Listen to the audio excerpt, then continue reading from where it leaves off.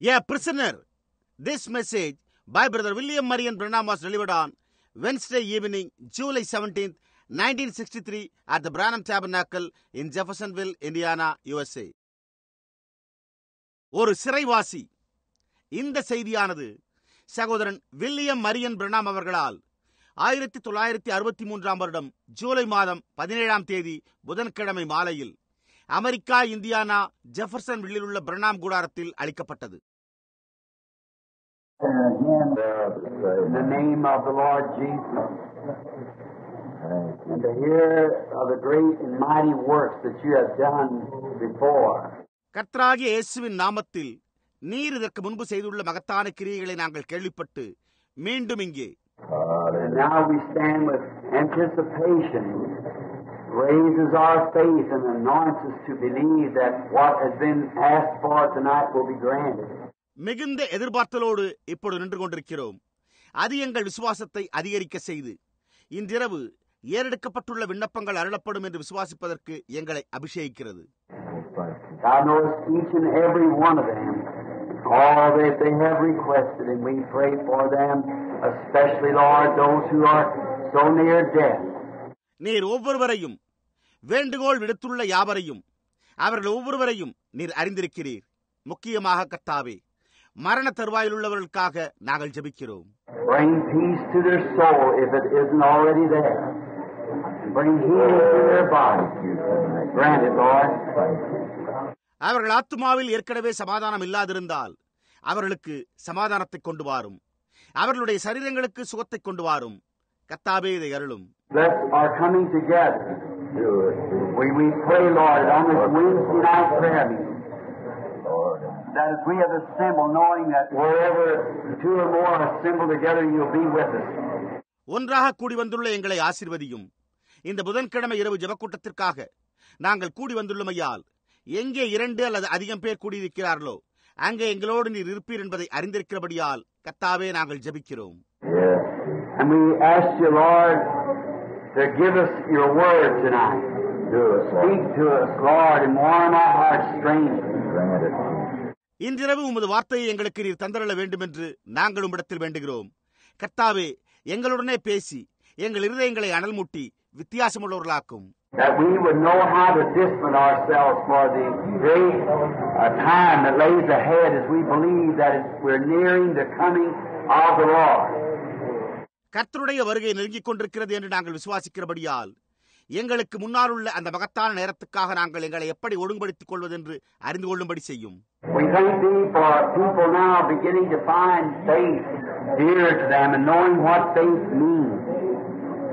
இந்த ஜனங்கள் அருமையாயுள்ள விசுவாசத்தை அவர்கள் கண்டுகொள்ள ஆரம்பித்து விசுவாசம் எதை குறிக்கிறது என்பதை அறிந்துள்ள இவர்களுக்காக நாங்கள் உமக்கு நன்றி செலுத்துகிறோம்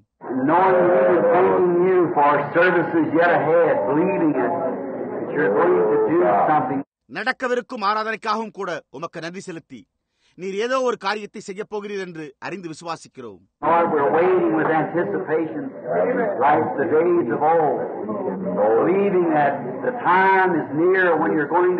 just raise up the windows of heaven and pour out the that God has promised in this last day. கர்த்தாவே நீர் பண்டைய நாட்களில் செய்தது போல செய்வீர் என்னும் எதிர்பார்க்குதலோடு நாங்கள் காத்துக்கொண்டும் நீர் வானத்தின் பலகணிகளை திறந்து தேவன் கடைசி காலத்திற்கென வாக்களித்துள்ள வாக்குத்தத்தங்களை ஊற்றுவதற்கு நேரம் நெருங்கிவிட்டது என்று விசுவாசிக்கிறோம் Now we ask you, Lord, to, to be with all around the nations as the day we heard so many around everywhere that's in need. Grant them their request, Lord. இப்பொழுது தேசங்கள் அனைத்திலும் உள்ளவர்களோடு நீர் இருக்க வேண்டும் என்று நாங்கள் உம்மை வேண்டிக் கொள்கிறோம் இன்றைக்கு உலகத்தின் பல்வேறு பாகங்களில் உள்ளவர்களின் தேவைகளை குறித்து நாங்கள் கேள்விப்பட்டோம். கர்த்தாவே அவர்களுடைய விண்ணப்பங்களை அவர்களுக்கு அருளி செய்யும். And we pray to see the, the great hand of God moving all over the world among those who are looking for this great thing. உலகின் பல்வேறு பாகங்களில் இந்த மகத்தான காரியத்தை எதிர்நோக்கி உள்ளவர்கள் தேவனுடைய மகத்தான கரம் உலகம் முழுவதும் அசைவதை காணும்படி நாங்கள் ஜெபிக்கிறோம். Chase us, Lord, with thy spirit and thy word, that we might discipline ourselves to obedient service. Obedient service to the will of God. எங்கள் பாவங்களை எங்களுக்கு மன்னியும் கத்தாவே உமது ஆவியினாலும் உமது வார்த்தையினாலும் எங்களை சிற்றித்து நாங்கள் எங்களை ஒழுங்குபடுத்திக் கொண்டு கீழ்ப்படிதலுள்ள ஊழியர்களாய் தேவனுடைய சித்தத்தில் கீழ்ப்படிதலுள்ள ஊழியர்களாய் இருக்க செய்யும் Let us remember and try to think in our hearts what the early Christians done. ஆதி கிறிஸ்தவர்கள் செய்ததை எங்கள் இருதயங்களில் சிந்திக்க முயற்சித்து அதை நாங்கள் நினைவுபடுத்திக் கொள்வோமாக What type of people would we meet if we met those who had personally been in contact with you, how their faces must have lit up with faith and joy. உம்மோடு தனிப்பட்ட விதத்தில் தொடர்பு கொண்டிருந்தவர்களை நாங்கள் சந்திப்போமானால் நாங்கள் எத்தகைய மக்களை சந்திக்கிறோம் என்று நாங்கள் நினைவில் கொள்வோமாக அவர்களுடைய முகங்கள் விசுவாசத்தினாலும் சந்தோஷத்தினாலும் எவ்வளவு பிரகாசமாய் இருந்திருக்க வேண்டும் How their lives must have been the living Word of God, just written epistles read of all men as they walked in and among people. God grant it once more. அவர்கள் ஜனங்களின் மத்தியில் நடந்து சென்றபோது அவர்களுடைய வாழ்க்கை ஜீவனுள்ள தேவனுடைய வார்த்தையாக எல்லா மனிதராலும் வாசிக்கப்படும் எழுதப்பட்ட நிருபங்களாக இருந்திருக்க வேண்டும் தேவனே அதை இன்னும் ஒரு விசை அருள்வீராக May our lives be so submitted to Thee that the Holy Spirit will live itself through us and speak through us, Lord. கர்த்தாவே எங்களுடைய ஜீவியங்கள் உமக்கு அர்ப்பணிக்கப்பட்டு பரிசுத்த ஆவியானவர் தாமே எங்கள் மூலம் வாசம் செய்து எங்கள் மூலம் பேசுவாராக May we remember in our minds as we walk upon the street and rub arms with the world, we're not supposed to be like those. நாங்கள் வீதியில் நடந்து உலகத்துடன் தொடர்பு கொள்ளும் போது அவர்களைப் போல நாங்கள் இருக்கக்கூடாது என்பதை எங்களுடைய மனதில் நாங்கள் நினைவுபடுத்திக் கொள்வோமாக That we step aside and give them the place, Lord, in their rightful position here on earth. கர்த்தாவே நாங்கள் வழிவிலகி இவ்வுலகில் அவர்களுக்குரிய இடத்தை நாங்கள் அவர்களுக்கு கொடுத்து விடுகிறோம் We'll take the back seat knowing that we are delegates from another world. Amen. We have a kingdom that's coming into power, Lord. நாங்களோ வேறொரு உலகிலிருந்து இங்கு வந்துள்ள பிரதிநிதிகள் என்பதை அறிந்தவர்களாய் நாங்கள் பின்னிடத்தை எடுத்துக் கொள்ளுகிறோம் கர்த்தாவே அதிகாரத்திற்கு வரவிருக்கும் ஒரு ராஜ்யம் எங்களுக்குள்ளது And our great King will soon arise and take over all the kingdom that's in his domain. And he shall rule and reign with him here on earth a thousand years and be with him forever. எங்கள் மகத்தான ராஜா விரைவில் வந்து அவருடைய அதிகாரத்தில் உள்ள ராஜ்யங்களை எடுத்துக் கொள்வார் நாங்கள் இந்த பூமியில் இங்கே அவருடன் ஆயிரம் வருடம் ஆளுகை செய்து அரசாண்டு அவருடன் சதா காலங்களிலும் இருப்போம் With this in mind, Lord, now we look forward to the answer of our prayer. We look to our confession. கர்த்தாவே இதை மனதில் கொண்டவர்களாய் எங்கள் ஜெபத்துக்கு பதிலை இப்பொழுது நாங்கள் உம்மிடமிருந்து எதிர்பார்க்கிறோம் நாங்கள் எங்களுடைய அறிக்கையின் பேரில் எதிர்நோக்கியிருக்கிறோம் If we have did anything, said anything, or thought anything that was contrary to your great will, let the blood of Jesus Christ cleanse us. Please. நாங்கள் ஏதாவது செய்திருந்தால் ஏதாவது கூறியிருந்தால் அல்லது எதையாவது நினைத்திருந்தால் உமது மகத்தான சித்தத்திற்கு முரணாக எதையாவது நினைத்திருந்தால் இயேசு கிறிஸ்துவின் ரத்தம் எங்களை சுத்திகரிக்கட்டும் Lead us, Lord, as the sister said tonight about she and her husband on the road to Chicago. கர்த்தாவே எங்களை வழிநடத்தும் இன்றிரவு அந்த சகோதரி அவளும் அவளுடைய கணவனும் சிக்காகோவுக்கு சென்று கொண்டிருப்பதாக கூறினபடியால் Lead them, Lord God, to the place that you can use that they might be beams of light to others who are groping in darkness that knows not our Lord Jesus. தேவனாகிய கர்த்தாவே அவர்களை வழிநடத்தி அவர்களை நீர் உபயோகிக்க சித்தமுள்ள இடத்திற்கு கொண்டு சென்று எங்கள் கர்த்தராகிய இயேசுவை அறியாமல் இருளில் தடுமாறிக் கொண்டிருப்பவர்களுக்கு அவர்கள் வெளிச்சமாக அமைந்திருக்கும்படி செய்வீராக Now we commit the service to you and listening for your word of correction, that we might know how to prepare for this great hour. In Jesus' name we ask it. Amen. இப்பொழுது ஆராதனையை நாங்கள் உம்மிடத்தில் ஒப்படைத்து அந்த மகத்தான நேரத்துக்கென நாங்கள் எப்படி ஆயத்தப்படுவது என்று அறிந்து கொள்ள அந்த திருத்தும் உம்முடைய வார்த்தைக்கு செவி கொடுப்போமாக இயேசுவின் நாமத்தில் நாங்கள் இதை வேண்டிக் கொள்கிறோம் ஆமேன். I was a little bit unexpected of this. I, being here at home, I felt like if I wasn't really, I had to go somewhere, emergency, I'd feel very bad to be sitting at home and not come to prayer meeting. கர்த்தர் உங்களை ஆசீர்வதிப்பாராக சகோதரனே உங்களுக்கு நன்றி நான் சற்று எதிர்பாராத விதமாக வந்துவிட்டேன். நான் வீட்டில் இருந்த காரணத்தால் வர வேண்டும் என்று தோன்றினது. அவசரமாக வெளியே எங்காவது போக வேண்டிய அவசியம் ஏற்பட்டால் ஒழிய ஜெபக்கூட்டத்திற்கு வராமல் வீட்டில் உட்கார்ந்து கொண்டிருப்பதை நான் மிக மோசமாக உணர்வேன். And I kind of dropped in unexpected to myself, even to my family, and just got in and topped right off. வருவேன் என்று நானே எதிர்பார்க்கவில்லை. என் குடும்பத்துக்கும் கூட அது எதிர்பாராதா இருந்தது. நான் காரில் ஏறிக்கொண்டு புறப்பட்டு விட்டேன். And so I said, I'm going down to prayer meeting, and she didn't even have time to get ready to come, so she didn't know I was coming. எனவே நான் ஜெபக்கூட்டத்திற்கு போகிறேன் என்று சொல்லி புறப்பட்டு விட்டேன் அவள் வருவதற்கு ஆயத்தப்பட நேரமில்லாமல் போனது ஏனெனில் நான் இங்கு வரப்போகிறேன் என்று அவளுக்கு தெரியாது So I'm happy to hear the sister's testimony there, the brother, about that light uh, up at uh, South Carolina, North Carolina, somewhere. Greenville, was it? Southern Pines, yes.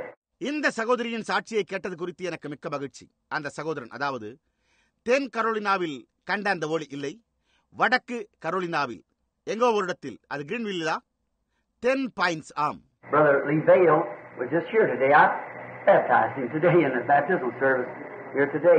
Brother Lee Vale, you know, one of the ministers there. Brother Parker Thomas. சகோதரன் லீபேயில் இன்றைக்கு இங்கு வந்திருந்தார் ஞானஸ்தான ஆராதனையில் இன்று அவருக்கு நான் ஞானஸ்தானம் கொடுத்தேன் சகோதரன் லீபேயில் உங்களுக்கு தெரியும் அங்குள்ள ஊழியக்காரர்களில் ஒருவர் சகோதரன் Parker Thomas There was, um, I remember of, a, of the time a sister being shattered. That it was a great confirmation, sister, to what the, uh, the Holy Spirit sometimes will let us go ahead and tr- test our faith to see what, uh, test others' faith. அந்த சகோதரி நிழலிடப்பட்ட நேரம் என் நினைவுக்கு வருகிறது சகோதரியே அது ஒரு பெரிய உறுதிப்படுத்தலாயிருந்தது பரிசுத்த ஆவியானவர் சில சமயங்களில் நமது விசுவாசத்தை சோதித்து நாம் என்ன செய்கிறோம் என்று காண நம்மை போக அனுமதிக்கிறார் மற்றவர்களுடைய விசுவாசத்தையும் சோதிக்கிறார் When you're looking directly at something and see something and say it, others look and don't see it, they say it's not there. See? But it is there. நீங்கள் நோக்கி பார்த்து ஏதோ ஒன்றை கண்டு கூறும்போது மற்றவர்கள் நோக்கி பார்த்தும் அதை காணாமல் அவர்கள் அது அங்கு இல்லை என்கிறார்கள் பாருங்கள் ஆனால் அது அங்கு உள்ளது Now, there was no one who could see that light that's hanging over Paul, இப்பொழுது பவுலுக்கு மேலே இருந்த ஒளியை வேறு யாரும் காண முடியவில்லை ஆனால் அது அங்கிருந்தது.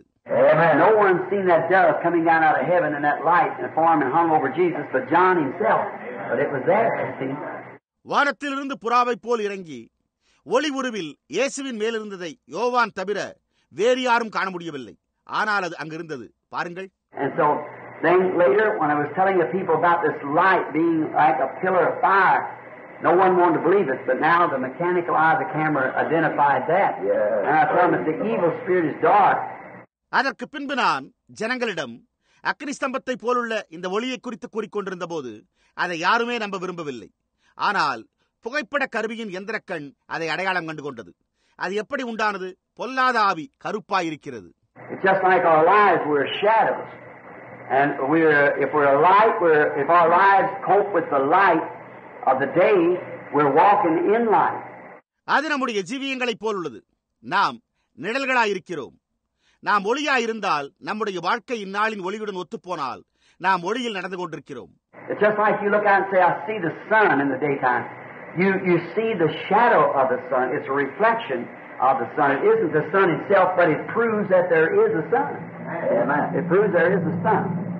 அது நீங்கள் பகல் நேரத்தில் வெளியே எட்டி பார்த்து நான் சூரியனை காண்கிறேன் என்று சொல்வது போன்றே உள்ளது நீங்கள் சூரியனின் நிழலைத்தான் காண்கிறீர்கள் அது சூரியனின் பிரதிபலிப்பே அல்லாமல் அது சூரியன் அல்ல ஆனால் ஒரு சூரியன் உள்ளது என்பதை அது நிரூபிக்கிறது அது ஒரு சூரியன் உள்ளதை நிரூபிக்கிறது And now, when I see, uh, like you sitting out there using fans, talking, that means you're living. But it's only a shadow of life because anything has got to have darkness in it to make a shadow. See? Yeah. நீங்கள் உட்கார்ந்து கொண்டு விசிறியை உபயோகித்து விசிறிக்கொண்டு யாரிடமாவது பேசிக் கொண்டிருப்பதை நான் காணும்போது நீங்கள் உயிரோடு இருக்கின்றீர்கள் என்று அது அர்த்தமாகிறது. ஆனால் அது ஜீவனின் நிழல் மாத்திரமே. காரணம் எந்த காரியத்துக்கும் ஒரு நிழலை உண்டாக்க அதற்கு இருள் இருக்க வேண்டும். புரிகிறதா. காரணம் நிழலுக்கு இவ்வளவு இருள் இவ்வளவு வெளிச்சம் இருக்க வேண்டும். அப்பொழுதுதான் நிழல் உண்டாகும். It can't be altogether dark it can't be altogether light. If it's dark, it's real dark. If it's light, there's no shadow, nothing to make a shadow. But if it's mixed with dark and light, it makes a shadow. அது முழுவதும் இருளாய் இருக்காது அது முழுவதும் வெளிச்சமாய் இருக்காது அது இருளாய் இருந்தால் அது உண்மையில் இருளாகி விடுகிறது அது வெளிச்சமாய் இருந்தால் நிழலாய் இருக்காது நிழல் உண்டாக அங்கு ஒன்றுமே இருக்காது ஆனால் இருளும் வெளிச்சமும் கலந்தால் அது நிழலை உண்டாக்குகிறது So we are really shadows of light. Now you're reflecting the light from somewhere. Amen. ஆகவே நாம் உண்மையில் வெளிச்சத்தின் நிழலாயிருக்கிறோம் இப்பொழுது நீங்கள் எங்கோ உள்ள ஒளியை பிரதிபலித்துக் கொண்டிருக்கிறீர்கள் If you are in Christian, this being a shadow, it only proves that there is a life where you can't die because this life has death in it. See? நீங்கள் கிறிஸ்தவராயிருந்தால் இது ஒரு நிழலாயிருக்குமானால் எங்கோ நீங்கள் மறிக்க முடியாத ஒரு வாழ்க்கை உள்ளதை அது நிரூபிக்கிறது ஏனென்றால் இந்த வாழ்க்கை மரணத்தை கொண்டுள்ளது புரிகிறதா But it's a shadow because you're living, moving creature with abilities to see, think, move, and talk, and the five senses of the body. ஆனால் அது ஒரு நிழல் ஏனெனில் நீங்கள் உயிர் வாழ்ந்து நடமாடி பார்த்தல் சிந்தித்தல் அசைதல் பேசுதல் போன்ற சரீரத்தின் ஐம்புலன்களை பெற்றிருக்கிறீர்கள் But yet, you know they, they're dying, and there's so much trouble. You know, it can only be the, it's a reflection, see, that there's life and death mixed together. ஆனால் அதே சமயத்தில் அவர்கள் மறித்துக் கொண்டிருப்பதை நீங்கள் அறிந்திருக்கிறீர்கள் அதிகமான தொல்லை உள்ளது அது ஒரு பிரதிபலிப்பாய் மாத்திரமே உள்ளது என்பதை நீங்கள் அறிவீர்கள் பாருங்கள் அதில் ஜீவனும் மரணமும் கலந்துள்ளது The physical has to die. But if you are reflecting by your mortal life the light of heaven, then you're reflecting the eternal light. Amen. God. சரீரம் மறிக்க வேண்டும் ஆனால் மறிக்க வேண்டிய உங்கள் வாழ்க்கை பரலோக ஒளியை பிரதிபலித்துக் கொண்டிருக்குமானால் அப்பொழுது நீங்கள் தேவனுடைய நித்திய ஜீவனை பிரதிபலித்துக் கொண்டிருக்கிறீர்கள். அப்படியானால் நீங்கள் மறிக்கும்போது நீங்கள் அந்த ஒளிக்கு செல்லாமல் இருக்க முடியாது ஏனெனில் அதைத்தான் நீங்கள் பிரதிபலித்துள்ளீர்கள் If you are of the dark world, you reflect that. And you can do go no other way but to darkness. See? So we are in a reflection. நீங்கள் இருளின் உலகத்தில் இருந்து கொண்டு நீங்கள் அதை பிரதிபலிக்கிறீர்கள் நீங்கள் அதைத்தான் பிரதிபலிக்க முடியும். இருளண்டைக்கு தவிர வேறெங்கும் செல்ல வழியே இல்லை. பாருங்கள் எனவே நாம் ஒரு பிரதிபலிப்பில் இருக்கிறோம். So we see that as sure as the Holy Spirit reflects light and life, so does death reflect darkness, and here they both are. எனவே பரிசுத்தாவி ஒளியையும் ஜீவனையும் பிரதிபலிப்பது எவ்வளவு நிச்சயமோ அவ்வளவு நிச்சயமாக மரணம் இருளை பிரதிபலிக்கிறது என்பதை நாம் காண்கிறோம். இங்கே அவை இரண்டுமே உள்ளன. Um, tomorrow, by the end of the week, maybe by Sunday, we are getting the small photograph blown up to a large size so it can be put on the billboard where your picture hangs out there. Uh, on the billboard, I don't know whether you noticed it or not. இந்த வார முடிவில் ஒரு கால் ஞாயிறு அன்று சிறிய புகைப்படத்தை பெரியதாக்கி அதை உங்கள் படம் தொங்கவிட்டிருக்கும் அறிவிப்பு பலகையில் தொங்கவிட உத்தேசித்துள்ளோம் அங்கே அந்த சிறு அறிவிப்பு பலகையில் அந்த சிறு புகைப்படம் தொங்குகிறது நீங்கள் அதை கவனித்தீர்களா இல்லையா என்று எனக்கு தெரியவில்லை And then, uh, about a week ago in, in Jamaica, where it was missionary, we sent tapes all over the world.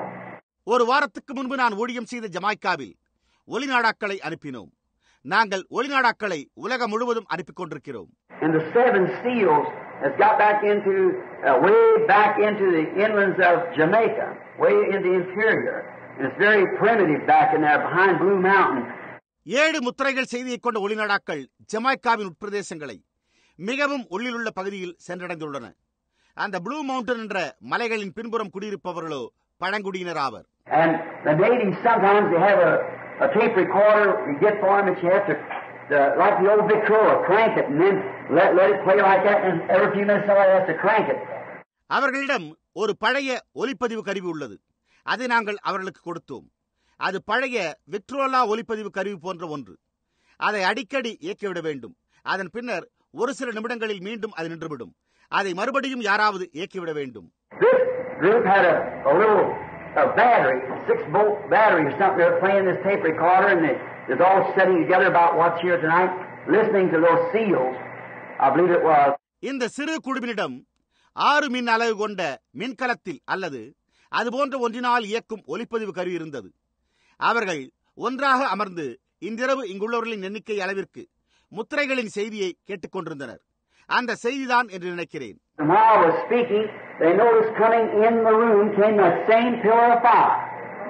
Moved over where the tape recorder was and settled down over the top of it. And they went and got a camera and took the picture of it. நான் ஒலிநாடாவில் பேசிக் கொண்டிருந்த போது அதே அக்கரி ஸ்தம்பம் அறைக்குள் வருவதை அவர்கள் கவனித்தனர் அது ஒலிப்பதிவு கருவி வைக்கப்பட்டிருந்த இடத்தை அடைந்து அதன் மேல் நின்றது. அவர்களோ புறப்பட்டு போய் புகைப்பட கருவியை கொண்டு வந்து அதை புகைப்படம் எடுத்தனர்.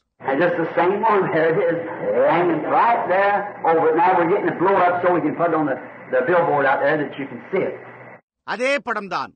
அங்கே அந்த படம்தான் இப்பொழுது தொங்கிக் கொண்டிருக்கிறது. நீங்கள் நன்றாக காண்பதற்கென அதை பெரிதாக்கி அறிவிப்பு பலகையில் தொங்கவிடப் போகிறோம். We are so grateful for the grace of God that's been brought into our uh, us into His presence in this day. Amen. Now we are grateful for many things. இந்நாளில் அவருடைய பிரசனத்தில் நம்மை கொண்டு வந்துள்ள தேவனுடைய கிருபைக்காக நாம் மிகவும் நன்றியுள்ளவர்களாய் இருக்கிறோம் இப்பொழுது நாம் அநேக காரியங்களுக்காக நன்றியுள்ளவர்களாய் இருக்கிறோம் Now I think I'm looking here and see if I can find some some notes or some something there that spoke on or get some kind of a. Uh, நான் ஏற்கனவே பிரசங்கித்ததன் பேரில் எழுதி வைத்துள்ள குறிப்புகள் ஏதாவது இங்கு இருக்கிறதா என்று பார்க்கலாம் என்று நான் இப்பொழுது நினைக்கிறேன் இல்லை என்றால்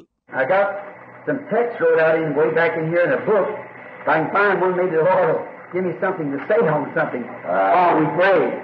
இங்கு ஒரு புத்தகத்தில் அநேக நாட்களுக்கு முன்பு நான் எழுதி வைத்த பிரசங்க பாட பொருளை பற்றிய குறிப்பு உள்ளன எனக்கு ஒன்று கிடைத்தால் நாம் ஜெபிக்கும்போது அதன் பேரில் ஏதாவது ஒன்றை நான் பேச கர்த்தர் அருளுவார். We're under anticipation for Sunday. I have been speaking uh, in the messages and Sunday kept here a long time on why Christ thou unto me speak to the people and go forward. இப்பொழுது ஞாயிற்றுக்கிழமைக்காக நாம் அதிக எதிர்நோக்குதலோடு காத்திருக்கிறோம் நான் செய்திகளை அழைத்து வருகிறேன் சென்ற ஞாயிற்றுக்கிழமை நீ என்னிடத்தில் முறையிடுகிறது என்ன புறப்பட்டு போங்கள் என்று ஜனங்களுக்கு சொல் என்னும் செய்தியின் பேரில் உங்களை நீண்ட நேரம் பிடித்து வைத்து விட்டேன்.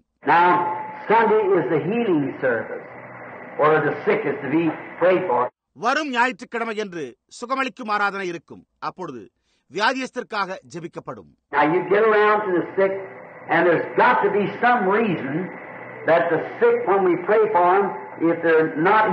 நீங்கள் வியாதியஸ்தரை அணுகி நீங்கள் அவர்களுக்கு ஜெபம் செய்தும் அவர்கள் குணமாகவில்லை என்றால் அதற்கு ஏதோ காரணம் இருக்கத்தான் வேண்டும்.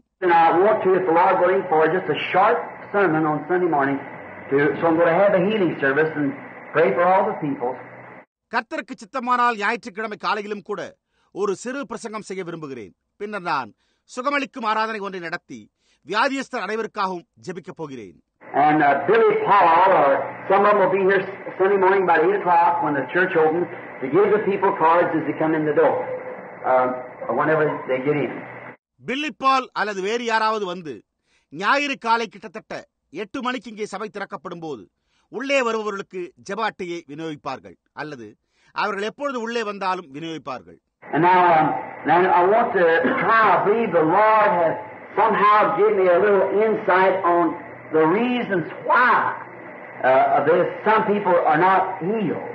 இப்பொழுது நான் அதை கூற முயற்சிக்கிறேன் சிலர் ஏன் குணமாக்கப்படுகிறதில்லை என்பதை குறித்து கர்த்தர் எனக்கு எப்படியோ சிறிது ஆழ்ந்த அறிவை தந்திருக்கிறார் என்று நான் நம்புகிறேன் And I, I believe it's lack of understanding. And I, I believe maybe we'll speak on that Sunday morning, the Lord willing. அது புரிந்து கொள்ள இயலாமை என்று நான் கருதுகிறேன் கர்த்தருக்கு சித்தமானால் அதை குறித்து நாம் ஞாயிறு காலை பேசுவோம் என்று நான் நினைக்கிறேன் Now, Wednesday night prayer meeting is just a short meeting where we get together and pray as we have and. புதன்கிழமை இரவு ஜெபக்கூட்டம் ஒரு சுருக்கமான கூட்டம்.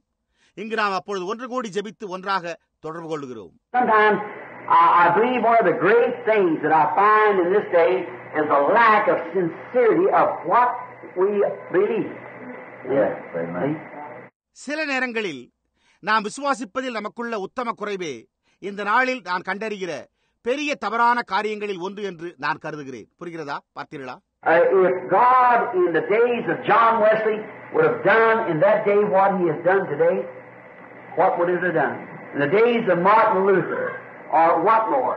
இந்நாளில் தேவன் செய்து வருவதை வெஸ்லியின் நாட்களில் செய்திருந்தால் அது அவர்களுக்கு என்ன செய்திருக்கும் மார்ட்டின் லூத்தரின் காலத்தில் அல்லது வேறெந்த காலத்தில் செய்திருந்தால் அது என்ன செய்திருக்கும் As what we see Him doing, both proven by the church, by the Spirit, and by science, and every move that.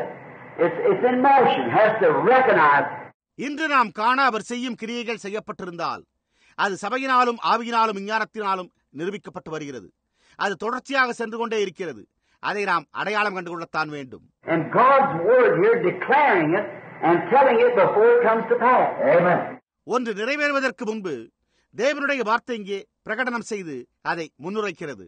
And then moving up on and prophesying and showing the very things that He said will come to pass perfectly exactly what He said. இவ்விதமாய் தொடர்ச்சியாக நடந்து தீர்க்க தரிசனம் முறைத்து அவர் கூறியுள்ளது அப்படியே நிறைவேறி வருகிறது என்பதை காண்பிக்கிறது And still, we sit kind of slowful as if we wonder, well, wonder if that could mean me, wonder if it could mean just uh, the, the church in whole, or uh, wonder if I'm really included in this. அதே சமயத்தில் நமக்கு இன்னும் சந்தேகம் உள்ளது போல் அதை குறித்து சிரத்தையற்றவர்களாய் இருக்கிறோம். ஒரு காலம் அது என்னை குறிக்கிறதா? அல்லது சபை முழுவதையும் குறிக்கிறதா? அல்லது அதில் நான் உண்மையாக சேர்க்கப்பட்டிருக்கிறேனா என்று வியக்கிறோம்.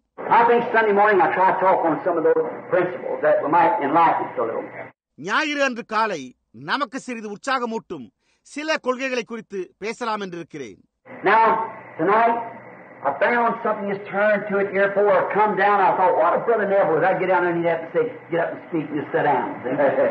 இன்றிரவு இந்த ஒன்றை நான் கண்டு அது என் கவனத்தை செலுத்தினேன் இங்கு நான் வருவதற்கு முன்பு சகோதரன் நெவில் என்னை கண்டவுடன் நீங்கள் பேசுங்கள் என்று சொல்லிவிட்டு உட்கார்ந்து கொண்டால் என்ன செய்வது என்று எண்ணினேன் புரிகிறதா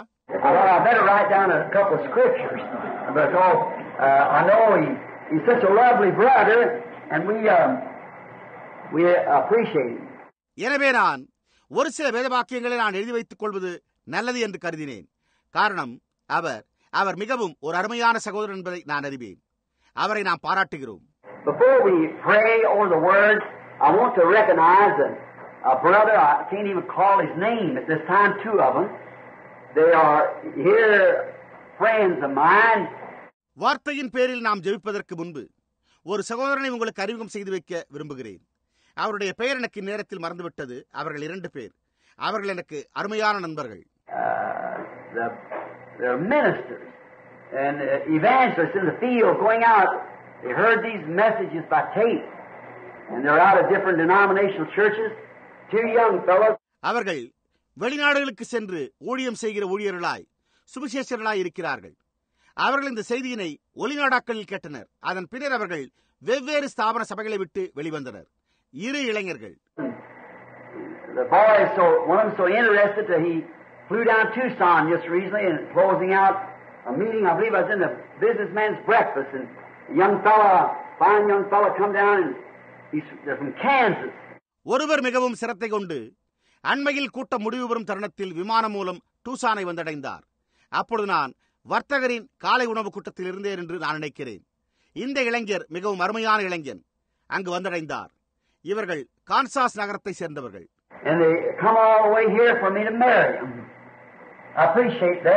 நான் அவர்கள் விவாகத்தை நடத்தி வைக்க வேண்டும் என்பதற்காக இவர்கள் தொலை தூரத்திலிருந்து வந்துள்ளனர் அதை நான் மெச்சுகிறேன்.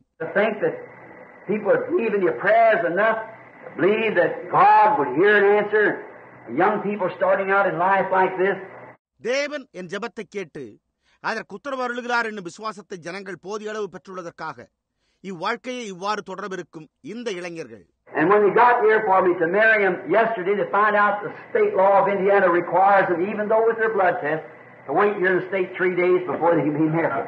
So they cannot be married until Friday morning. அவர்களுக்கு நான் விவாகம் செய்து வைக்க வேண்டும் என்று அவர்கள் நேற்று வந்தபோது அவர்களுக்கு இரத்த பரிசோதனை செய்யப்பட்டிருந்த போதிலும் இந்தியானா நாட்டு சட்டத்தின்படி அவர்கள் விவாகம் ஆவதற்கு முன்பு மூன்று நாட்கள் இங்கு தங்கியிருக்க வேண்டும் என்பதை அறிந்து கொண்டனர் எனவே வெள்ளி காலை வரைக்கும் அவர்கள் விவாகம் செய்து கொள்ள முடியாது And I asked our brother there on the end uh, if he'll just stand up and tell us who he is and his lovely little uh, lady there and the next brother. அங்கு மூலையில் உட்கார்ந்து கொண்டிருக்கும் அந்த சகோதரன் எழுந்து நின்று அவர் யார் என்றும் அவருக்கு பக்கத்தில் உள்ள அவருடைய அழகிய பெண்ணும் அதற்கு பக்கத்தில் உள்ள சகோதரனும் யார் என்பதை கூறும்படி கேட்டுக்கொள்கிறேன் to be here, and I'm Brother Roger Kansas. Right along the field as an evangelist, telling you Jesus saved, healed, gave us peace, giving away by the of all the factors that take us in. This is my Brown. I'm going to be married Friday. This is my co-evangelist, this co-worker, Brother Ronnie Hunt here on the end. And uh, this is his Carolyn. So I'm happy to be here. Thank you very much. We certainly wish these young ambassadors for the work of the Lord Jesus, God's blessings to speed them on the way. உங்களுக்கு மிக்க நன்றி கத்ராக இயேசுவின் ஊழியத்தில் உள்ள இந்த இளம் பிரதிநிதிகளை நாங்கள் நிச்சயமாகவே வாழ்த்தி தேவனுடைய ஆசீர்வாதங்கள் அவர்கள் மேல் துரிதமாய் பொழிய வாழ்த்துகிறோம் And as I wondering, waiting for the coming of the Lord and see young men and young women with a purpose and heart to serve Christ, that thrills me. To see them raised up like this. கர்த்தர் எப்பொழுது வருவார் என்று வியந்து அவருடைய வருகைக்காக நான் காத்திருக்கும் நேரத்தில் இளைஞர்களும் இளம்பெண்களும் கிறிஸ்துவை சேவிக்க வேண்டும் எனும் நோக்கத்தை தங்கள் இருதயத்தில் கொண்டவர்களாய் இப்படி எழும்புவதை காணும்போது அது என்னை மெய்சிலிருக்க வைக்கிறது. என் சகோதரனே சகோதரியே கர்த்தர் உங்களை அபரிமிதமாக ஆசீர்வதிப்பாராக. Let us turn over to a little book that I never spoke out of before in my life. And it's a very just one chapter. It's a book of Philemon. என் வாழ்க்கையில் நான் இதுவரைக்கும் பிரசங்கம் செய்யாத சிறு நிறுவத்தண்டை நாம் இப்பொழுது திருப்புவோமாக அது அதாவது ஒரே ஒரு அதிகாரமாய் உள்ள பிலமோனுக்கு எழுதிய நிருபம் And uh, I'm just a little bit Irish. And I, and I do have a wire around my bottom teeth to hold a couple of them back in place. என் உச்சரிப்பு சிறிது அயர்லாந்து நாட்டினரின் உச்சரிப்பு அது மட்டுமல்ல என்னுடைய இரண்டு கீழ்ப்பற்கள் கம்பியை கொண்டு கட்டப்பட்டு அதனிடத்தில் பொருத்தப்பட்டுள்ளது Uh, I, sometimes I don't pronounce these names right. When I do know what they are, and sometimes I can't pronounce them right for the lack of education. எனவே நான் சில நேரங்களில் இந்த பெயர்கள் எப்படி உச்சரிக்கப்பட வேண்டுமென்று நான் அறிந்திருந்தும் கூட என்னால் சரியாக உச்சரிக்க முடிவதில்லை சில நேரங்களில் கல்வி குறைவின் காரணமாக அவைகளை சரியாக உச்சரிக்க முடிவதில்லை So, Philemon, someone said back there, which I think is really the correct pronunciation of it. எனவே பிலேமோன் என்று பின்னால் உள்ள யாரோ ஒருவர் கூறினார் அதுதான் உண்மையிலேயே சரியான உச்சரிப்பாய் இருக்கிறது என்று நான் நினைக்கிறேன் Now, the first verse, I want to take just a word or two from it. Paul, a prisoner of Jesus Christ. And that's what I want to use tonight as a text, the Lord willing, இப்பொழுது முதலாம் வசனம். நான் அந்த வசனத்திலிருந்து ஒன்று அல்லது இரண்டு வார்த்தைகளை பேச எடுத்துக்கொள்ள விரும்புகிறேன். கிறிஸ்து இயேசுவின் நிமித்தம் கட்டப்பட்டவனாயிருக்கிற பவுல். கர்த்தருக்கு சித்தமானால் இன்றிரவு கட்டப்பட்ட ஒருவன் என்பதைத்தான் நான் பிரசங்கத்தின் பொருளாக உபயோகிக்க விரும்புகிறேன். Now, you could hardly imagine Paul regarding himself a prisoner, a born free man filled with the Holy Spirit, but yet he calls himself a prisoner. Pavul தன்னை கட்டப்பட்ட ஒருவனாக கருதுகிறான் என்று நீங்கள் நினைத்து பார்க்கவே முடியாது அவன் சுவாதீனமாக பிறந்து பரிசுத்த ஆவியினால் நிறையப்பட்டவன் ஆனால் அதே சமயத்தில் அவன் தன்னை கட்டப்பட்ட ஒருவன் என்று அழைத்துக் கொள்ளுகிறான் And now we find out when he's addressing the Corinthians, Paul, an apostle of Jesus Christ. Another time, Paul, a servant of Jesus Christ. By the will of God. When he's speaking to Timothy and different ones. அவன் குருந்தியருக்கு நிருபத்தை எழுதின போது இயேசு கிறிஸ்துவின் அப்போஸ்தலனாகிய பவுல் என்று எழுதுகிறான் என்றும் மற்றொரு சமயம் தீமோத்தேவுக்கும் மற்றவர்களுக்கும் எழுதும்போது தேவனுடைய சித்தத்தினாலே இயேசு கிறிஸ்துவின் ஊழியக்காரனாகிய பவுல் என்று எழுதியுள்ளதை நாம் இப்பொழுது கண்டறிகிறோம் Now when he's writing here to Philemon, he says, Paul, a prisoner of Jesus Christ. Paul, an apostle. இப்பொழுது இங்கே பிலேமோனுக்கு எழுதும்போது அவன் கிறிஸ்துவினால் கட்டப்பட்டவனாகிய பவுல் அப்போஸ்தலனாகிய பவுல் என்றும் கூறியுள்ளான் I'd like to preach one night on that. Paul, uh, a servant. Preach on that. And then Paul, a prisoner. நான் அதன் பேரில் ஒரு இரவு பிரசங்கிக்க விரும்புகிறேன். பவுல் ஒரு ஊழியக்காரன் என்பதன் பேரிலும் அதன் பின்னர் பவுல் கட்டப்பட்ட ஒருவன் என்பதன் பேரிலும் பிரசங்கிப்பேன். But tonight, being it, it takes hours to duly consider one of the subjects, I'd like to take tonight Paul, the prisoner, and take the subject of a prisoner. ஆனால் இன்றிரவு இந்த பாட தலைப்புகளில் ஒன்றை முறைப்படி ஆய்ந்து பார்க்க பல மணி நேரங்கள் ஆகிவிடும் எனவே நான் இன்றிரவு கட்டப்பட்டவனாகிய பவுல் என்பதை எடுத்துக்கொண்டு கட்டப்பட்ட ஒருவன் என்ற பாடப்பொருளில் பேச விரும்புகிறேன். இப்பொழுது சற்று நேரம் நாம் நம்முடைய தலைகளை வணங்குவோமாக any man that's physically able can pull back the pages of this Bible, but only the Holy Spirit can interpret it in the light that it's been meant to. கர்த்தராகிய இயேசுவே சரீர பலனுள்ள எவரும் இந்த வேதாகமத்தின் பக்கங்களை புரட்ட முடியும் ஆனால் பரிசுத்த ஆவியானவர் மாத்திரமே அதன் உண்மையான அர்த்தத்தை எங்களுக்கு விளக்கி காண்பிக்க முடியும் We ask Him to come now and help us to understand what this was addressed, this great, mighty prophet, Paul, and yet called himself a prisoner. இந்த மகத்தான தீர்க்கதரிசியான பவுல் தன்னை ஏன் கட்டப்பட்ட ஒருவனாக அழைத்துக் கொண்டான் என்பதை நாங்கள் புரிந்து கொள்ள நீர் வந்து எங்களுக்கு உதவி செய்யுமாறு நாங்கள் கேட்டுக்கொள்ளுகிறோம் May the Holy Spirit reveal this to us as we wait on Him. In Jesus Christ's name, amen. அவர் பேரில் நாங்கள் காத்திருக்கும் இந்நேரத்தில் பரிசுத்த ஆவியானவர் தாமே இதை எங்களுக்கு வெளிப்படுத்தி தருவாராக இயேசு கிறிஸ்துவின் நாமத்தில் ஆமேன் Now, I can imagine uh, Paul when he wrote this letter to Philemon, how he was uh, sitting in jail uh, down there in the dungeons of this city, uh, uh, a prisoner. இந்த நிருபத்தை பவுல் பிலேமோனுக்கு எழுதினபோது அவன் அந்த நகரத்தின் சிறைக்குள் ஒரு இருட்டறையில் ஒரு சிறைவாசியாக உட்கார்ந்து கொண்டிருப்பதை இப்பொழுது என்னால் கற்பனை செய்ய முடிகிறது And he could well know by his position what the word meant. அவன் இருந்த நிலைமையில் இருந்து அந்த வார்த்தை என்ன பொருட்படுத்தினது என்பதை அவன் நன்கு அறிந்து கொள்ள முடிந்திருக்கும் He was surrounded by, by, by bars. He could only be let free as someone would let him go free. And he knew what it was to be a prisoner.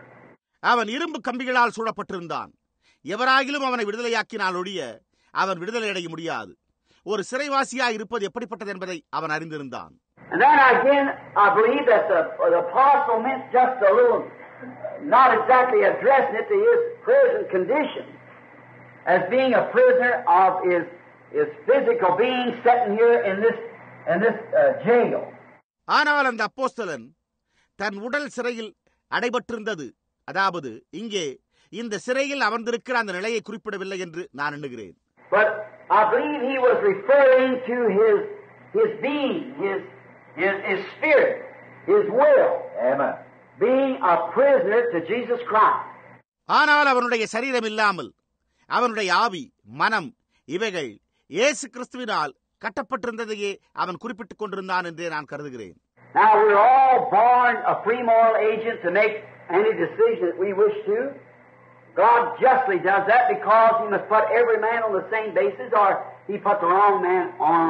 He put the first man on the wrong basis that He put on free moral agency. நாம் அனைவரும் நமது விருப்பப்படி எந்த தீர்மானத்தையும் செய்ய ஒரு சுயாதீனராக பிறந்துள்ளோம்.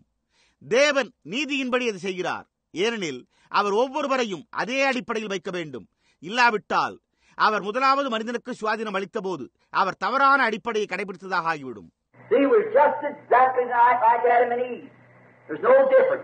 புரிகிறதா? இன்றிரவு நாம் ஆதாம் ஏவாள் வைக்கப்பட்டிருந்த அதே அடிப்படையில் வைக்கப்பட்டிருக்கிறோம் ஒரு வித்தியாசமும் இல்லை Right and wrong sits before either one of us. Life and death, we can make our choice.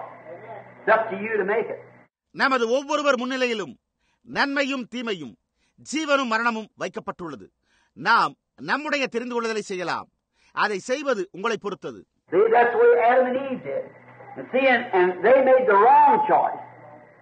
And now by that, put the whole race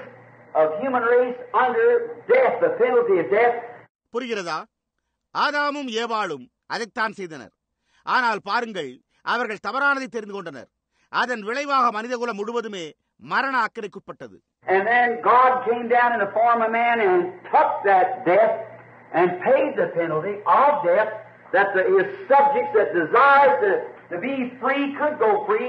அதன் பிறகு தேவன் மனித உருவில் இறங்கி வந்து மரணத்தை ஏற்று மரணத்துக்கான கிரயத்தை செலுத்தி மரணத்துக்கு கீழ்ப்பட்டிருந்த தம்முடைய பிரஜைகளை அதிலிருந்து விடுதலையாக்க விரும்பினவர்களை விடுதலையாகும்படி செய்தார் Now, if he took us without the same uh, way that he did Adam and Eve, just pulled us through something, said, I save you whether you want saved or not, then he put Adam and Eve on, on the wrong basis. you see.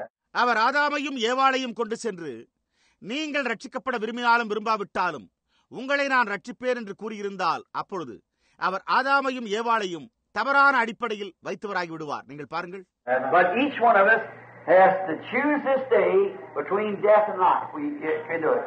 ஆனால் நாம் ஒவ்வொருவரும் இந்நாளில் ஜீவன் மரணம் இவைகளில் ஒன்றை தெரிந்து கொள்ள வேண்டியவர்களாய் இருக்கிறோம் நாம் அதை செய்ய முடியும் if your life will prove, your life will prove exactly what side you're on. I don't care what side you say you're on. What you do every day நான் சற்று முன்பு வெளிப்படுத்தி கூறினது போல உங்களுடைய வெளிச்சம் நிரூபிக்கும் நீங்கள் சரியாக எந்த பக்கத்தில் இருக்கிறீர்கள் என்பதை உங்களுடைய வாழ்க்கை நிரூபிக்கும் நீங்கள் எந்த பக்கத்தில் இருப்பதாக உரிமை கோரினாலும் எனக்கு கவலை இல்லை நீங்கள் ஒவ்வொரு நாளும் புரியும் செயல்கள் நீங்கள் யார் என்பதை நிரூபிக்கிறது You've heard the old saying, your life is so loud I can't hear your testimony. See? Your, your actions is so loud. உங்கள் வாழ்க்கை உறக்க சத்தமிடுவதால் உங்கள் சாட்சியை என்னால் கேட்க முடியவில்லை என்னும் பழைய பழமொழியை நீங்கள் கேட்டிருப்பீர்கள். புரிகிறதா? உங்கள் செயல்கள் அதிக சத்தமாய் உள்ளன. I've always believed in shouting and jumping, but I've always said don't jump no higher than you live. Because the world's going to watch that. நான் கூச்சலிடுவதிலும் குதிப்பதிலும் எப்பொழுதும் நம்பிக்கை கொண்டவன். ஆனால் நீங்கள் வாழும் நிலைமையை காட்டிலும் அதிக உயரம் குதிக்க வேண்டாம். ஏனெனில் உலகம் அதை கவனித்துக் கொண்டிருக்கும் என்று நான் எப்பொழுதும் கூறுவதுண்டு. Uh, jump as high as you live. So, because somebody's watching you, உங்களுக்கு புரிகிறதா நீங்கள் வாழும் நிலைமையின் மட்டத்துக்குத்தான் நீங்கள் குதிக்க வேண்டும் ஏனெனில் யாராவது ஒருவர் உங்களை கவனித்துக் கொண்டிருப்பார் and now when people won't come to church, they, they, many of them just won't do it. And some of them not coming is sincere people. ஜனங்கள் சபைக்கு வர மாட்டார்கள் அவர்களில் அநேகர் அதை செய்ய மாட்டார்கள் இவ்விதம் வராதவர்களில் அநேகர் உண்மையானவர்கள் They've seen so much corruption in the church until they don't want to have anything to do with it. சபையில் அவர்கள் அதிக சீர்கேட்டை காண்பதால் அதனோடு அவர்கள் தங்களை சம்பந்தப்படுத்திக் கொள்ள விரும்பவில்லை And many times, we're speaking on a flat thought of that, you can hardly bl- blame them. See, because of, of the way the people act, they call themselves Christians. நாம் அதை குறித்து அநேக முறை பேசியிருக்கிறோம் நீங்கள் அவர்களை படிக்க முடியாது பாருங்கள் ஏனென்றால் ஜனங்கள் அந்த விதமாக நடந்து கொள்கிறார்கள் அவர்கள் தங்களை கிறிஸ்தவர்கள் என்றும் அழைத்துக் கொள்கிறார்கள் They're the greatest stumbling block that the world's got, is a man and woman who professes to be a Christian and lives something different from their profession. Exactly right. உலகம் பெற்றுள்ள மிகப்பெரிய முட்டுக்கட்டையாய் அவர்கள் இருக்கிறார்கள் மனிதரும் ஸ்திரீகளும் தங்களை கிறிஸ்தவர்கள் என்று அழைத்துக் கொண்டு அதற்கு மாறாக ஜீவிக்கும் மக்கள் அது முற்றிலும் சரியே the disappointments at the judgment. இப்பொழுது நியாயத்தீர்ப்பு நாளில் ஏமாற்றங்கள் உண்டாகும் Now, the sinner, the bootlegger, the gambler, the adulteress, he, he won't be uh, disappointed to hear his sentence read to depart into everlasting fire. He won't be disappointed. என்னென்றைக்குமான அக்கினிக்குள் போகும்படியான நியாயத்தீர்ப்பு வாசிக்கப்படுகையில் பாவியோ கள்ளச்சாராயக்காரரோ சூதாடுபவரோ விபச்சாரரோ அவர்கள் ஏமாற்றமடைய மாட்டார்கள் அப்படிப்பட்டவன் ஏமாற்றமடைய மாட்டான் But that fellow who is trying to hide himself behind some kind of a church profession, that's the boy who's going to be disappointed at the day of judgment. See? That professes to be a Christian and lives some other way, ஆனால் எவன் ஒருவன் ஒரு சபையின் பின் ஒளிந்து கொண்டு தன்னை கிறிஸ்தவன் என்று பாசாங்கு செய்கிறானோ அவன் மட்டுமே நியாயத்தீர்ப்பின் நாளில் ஏமாற்றமடைய போகிறான் புரிகிறதா அவன் தன்னை கிறிஸ்தவன் என்று சொல்லியும் வேறு வழியில் ஜீவிக்கிறான் It'd be better for him that he never did even make any kind of profession start at all than to start and live something different because he's the greatest stumbling block we got is for that professor that says that he, he, he is a Christian and lives something different. அவன் இவ்வாறு பாசாங்கு செய்து ஜீவிப்பதை காட்டிலும் அவன் அதை துவக்காமலே இருந்தால் அதுவே அவனுக்கு மேலானதாய் இருந்திருக்கும் காரணம் தான் கிறிஸ்தவன் என்று கூறி வேறு வழியில் ஜீவிப்பவனே நாம் பெற்றுள்ள மகா பெரிய இடையூறாயிருக்கிறான் Always don't judge your life by how much power you have to perform miracles. And we don't uh, judge yourself by how much knowledge you have of the Word. உனக்கு அற்புதங்கள் செய்ய எவ்வளவு வல்லமை உள்ளது என்று அளவைக் கொண்டு முடிவு செய்யாதே வார்த்தையிலுள்ள நம் அறிவின் அளவைக் கொண்டு நாம் நம்மை மதிப்பிடுவதில்லை But always judge yourself, look back and take an inventory of what kind of a fruit that the life you presently live now is bearing. ஆனா எப்பொழுதுமே நீயே உன்னை மதிப்பிட்டுப் பார் நீ இப்பொழுது ஜீவிக்கிறதில் எவ்விதமான ஜீவக்கனியை தருகின்றாய் என்பதை கணக்கெடுத்துப்பார் புரிகிறதா I preached some time ago at a businessman's meeting in Phoenix, Arizona, of uh, the reflection of Jesus, uh, reflecting Christian life. நான் சிறிது காலத்திற்கு முன்பு அரிசோனாவில் உள்ள பீனிக்ஸில் வர்த்தக புருஷருடைய கூட்டத்தில் பேசியது போன்று இயேசுவின் பிரதிபலிப்பை பிரதிபலிப்பதே கிறிஸ்தவனின் ஜீவியமாகும்.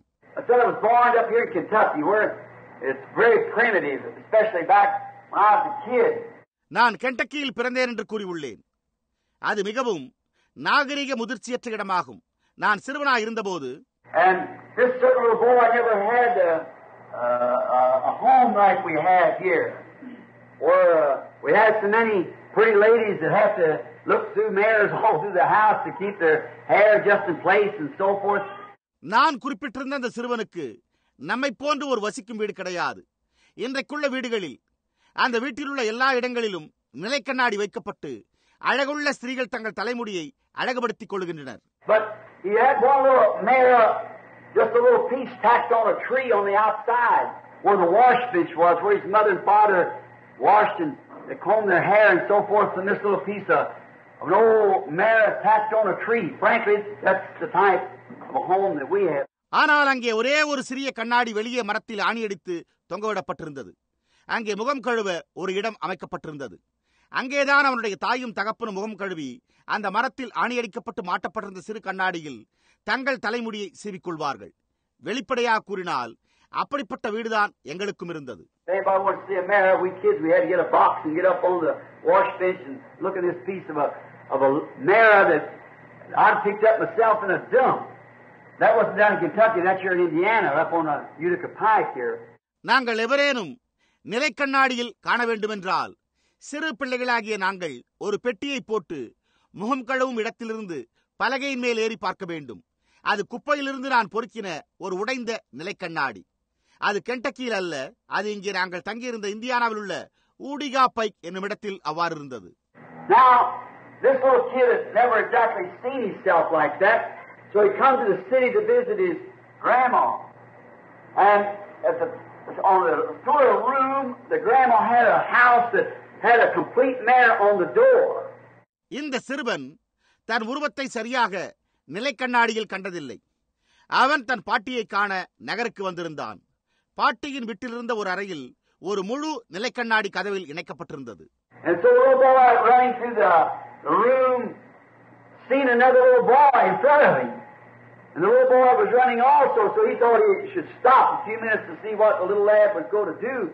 சிறுவன் அறைக்குள் ஓடினபோது அவனுக்கு முன்னால் மற்றொரு சிறு பையனை கண்டான் அவனுக்கு முன்னால் வேறொரு சிறுவன் அவனைப் போலவே ஓடுவதைக் கண்டான் அவன் சற்று நேரம் நின்றால் அந்த பையன் என்ன செய்கிறான் என்று பார்க்கலாம் என்று நினைத்தான் And when he stopped, the little boy stopped. When he turned his head, the little boy turned his head. He scratched his head, the little boy scratched his. இவன் நின்றபோது அவனும் நின்றான் இவன் தன்னுடைய தலையை திருப்பின போது அவனும் தன்னுடைய தலையை திருப்பினான் இவன் தன்னுடைய தலையை சொரிந்தபோது அவனும் தன்னுடைய தலையை சொரிந்தான் Finally, walked closer to investigate, and he turned around, and his mother watched him, and his grandmother with amazement said, Well, mother, that's me. முடிவிலே இது என்னவென்று கண்டறிய அவன் அருகில் சென்றான்.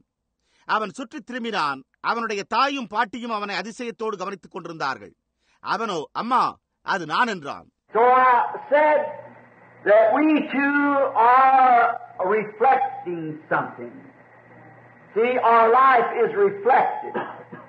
ஆகவே நாமும் கூட ஏதோ ஒன்றை பிரதிபலிக்கிறோம் என்று நான் அந்த கூட்டத்தில் கூறினேன். புரிகிறதா? நமது வாழ்க்கை பிரதிபலிக்கப்படுகிறது. And now, if we lived in the days of Noah, whose side would we take?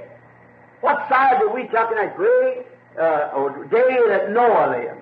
What side would we take in the days of Moses? நாம் நோவாவின் காலத்தில் வாழ்ந்திருந்தால் யார் பக்கம் இருந்திருப்போம் நோவா வாழ்ந்த அந்த மகத்தான நாட்களில் நாம் எந்த பக்கம் சேர்ந்திருப்போம் மோசையின் நாட்களில் நாம் எந்த பக்கம் சேர்ந்திருப்போம் What side in the days of Elijah the prophet, when all the world was galloped up in a, a great a mess of, uh, of modernism, like the modern Jezebel, and had led all the servants of the Lord out into a worldly way, and the church and the priests was all bowing to her. தீர்க்கதரிசியாகிய எலியாவின் நாட்களில் உலகமே நவீனத்தில் விழுங்கப்பட்டு நவீன எசபேலைப் போல் தேவனுடைய உண்மையான ஊழியக்காரரை உலக பிரகாரமான வழிக்குள்ளாக அனுப்பி சபையும் ஆசாரியர்களும் எசபேலுக்கு தலைவணங்கியிருந்த காலத்தில் நீங்கள் எந்த பக்கம் இருந்திருப்பீர்கள்?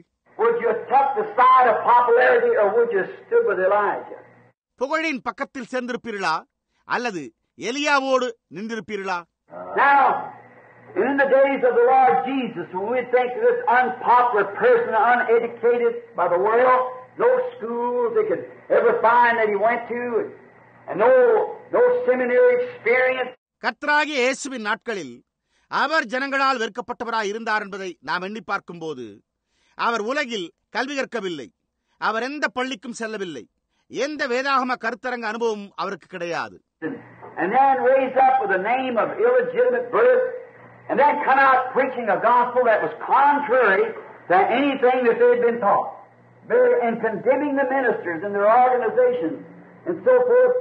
முறை தவறி பிறந்தவர் என்னும் பெயருடன் அவர் வளர்ந்து வந்தார் அதன் பிறகு அவர்கள் போதிக்கப்பட்டவர்களுக்கு மாறான ஒரு சுவிசேஷத்தை பிரசங்கித்தார் அவர் போதகர்களையும் அவர்களுடைய ஸ்தாபனங்களையும் குற்றப்படுத்தினார் And the organizations had made uh, uh, a statement that if anybody even went to hear this so-called prophet would be put out of the synagogue, which was a, a mortal sin. They had to be uh, accounted தீர்க்கதரிசி என்று தன்னை அழைத்துக் கொள்ளும் அவருடைய பிரசங்கத்தை கேட்க செல்பவர் எவருமே ஜபாலயத்திலிருந்து புறம்பே தள்ளப்படுவார்கள் என்னும் ஒரு அறிக்கையை ஸ்தாபனங்கள் விடுத்தன. அது மரணத்துக்கு எதுவான பாவமாக கருதப்பட்டது. அவர்கள் கணக்கு கொடுக்க வேண்டியவர்களாக இருந்தனர்.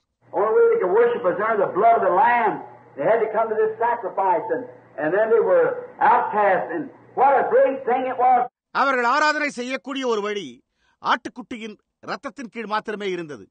அவர்கள் இந்த பலிநிலத்திற்கு வர வேண்டியதாக இருந்தது. அப்பொழுது அவர்கள் புறம்பே தள்ளப்படுவது எவ்வளவு பயங்கரமான காரியமாக இருந்தது This man ignored such as that. And yet he was perfectly with the Scripture, but not in the way they knew it. What side would you have took? See? ஆனால் இந்த மனிதன் இதையெல்லாம் அசட்டை செய்தார் அதே சமயத்தில் அவர் வார்த்தையோடு பரிபூர்ணமாக நிலைத்திருந்தார் ஆயினும் அவர்கள் அதை அறிந்திருந்த முறையில் அல்ல அப்பொழுது நீங்கள் எந்த பக்கத்தில் இருந்திருப்பீர்கள் புரிகிறதா Now, the, your life that you live now reflects now just what you would have done then because you still are possessed with the same Spirit. Amen. இப்பொழுது நீங்கள் வாழ்கின்ற உங்களுடைய வாழ்க்கை அப்பொழுது நீங்கள் என்ன செய்திருப்பீர்கள் என்பதை பிரதிபலிக்கிறது ஏனெனில் இப்பொழுது நீங்கள் அதே ஆவியால் பீடிக்கப்பட்டவர்களாக இருக்கிறீர்கள் புரிகிறதா If you take that side down with them, you'd have done it then. Because the same spirit that's in you now was in people then. See? இப்பொழுது யார் பக்கத்தில் இருக்கிறீர்களோ அதே பக்கத்தில் அப்பொழுதும் இருந்திருப்பீர்கள். ஏனெனில் இப்பொழுது உங்களுக்குள் இருக்கும் அதே ஆவிதான் அப்பொழுதும் அந்த ஜனங்களுக்குள்ளும் இருந்தது. புரிகிறதா? The devil never takes his spirit, he just goes off from one man on to another. God never takes his spirit either. It goes from one to the other, see? பிசாசு தன் ஆவியை எடுத்துக்கொள்வதில்லை. அவன் ஒரு மனிதனிலிருந்து வேறொரு மனிதனுக்குள் செல்லுகிறான். தேவன் தமது ஆவியை ஒருபோதும் எடுத்துக்கொள்வதில்லை. அது ஒரு மனிதனிலிருந்து வேறொரு மனிதனுக்குள் செல்கிறது. புரிகிறதா? So the very spirit was upon Elijah, come upon Elisha.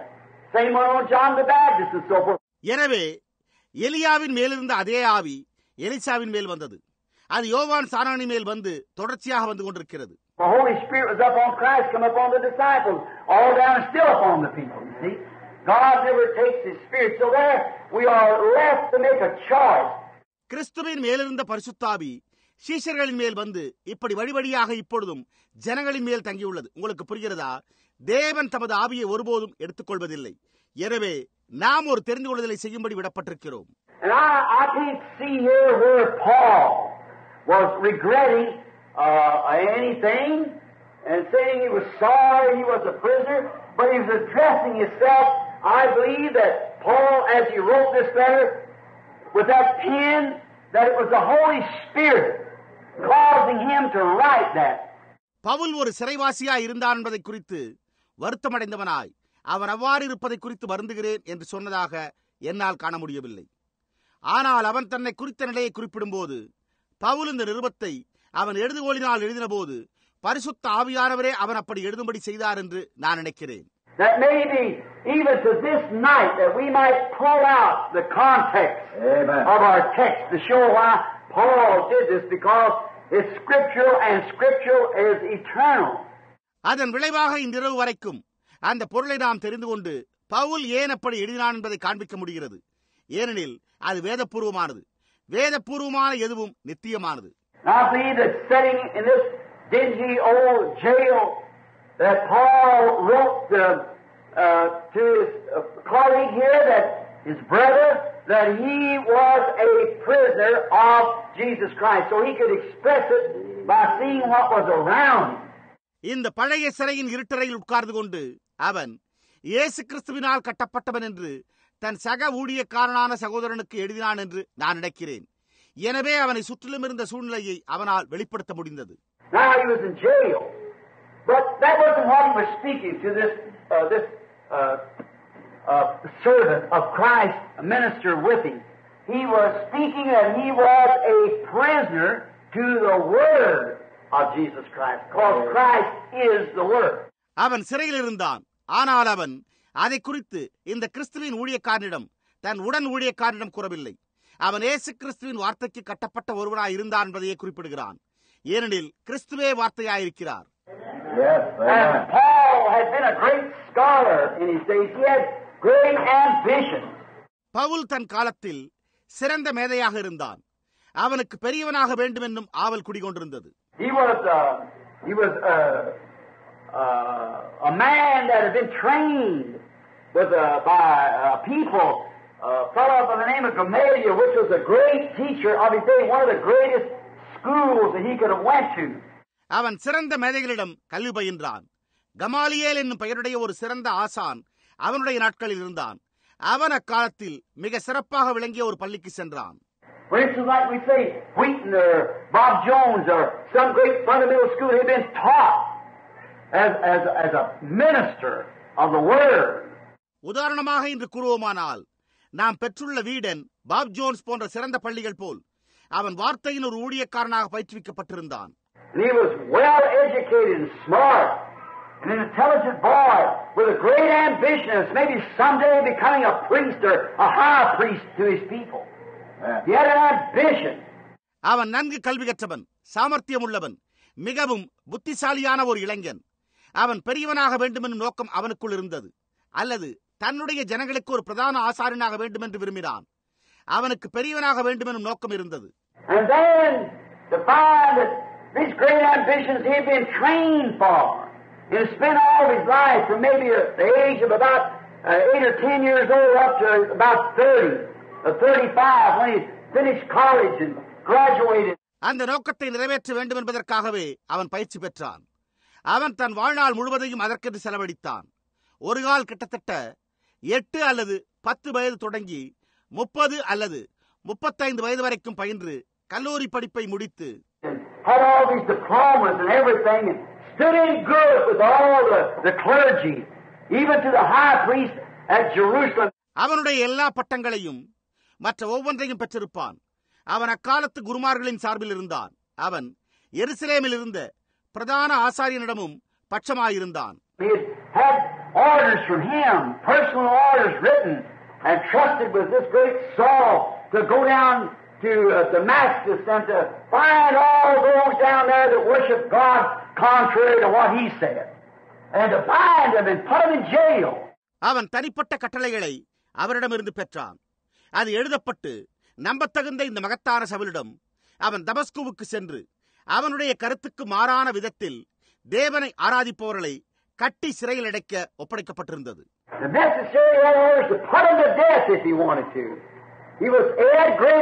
him. தேவைப்பட்டால் அவன் விரும்பினால் அவர்களை கொல்லவும் அவன் அதிகாரம் பெற்றிருந்தான் அவனுக்கு பெரியவனாக வேண்டுமெனும் நோக்கம் இருந்தது.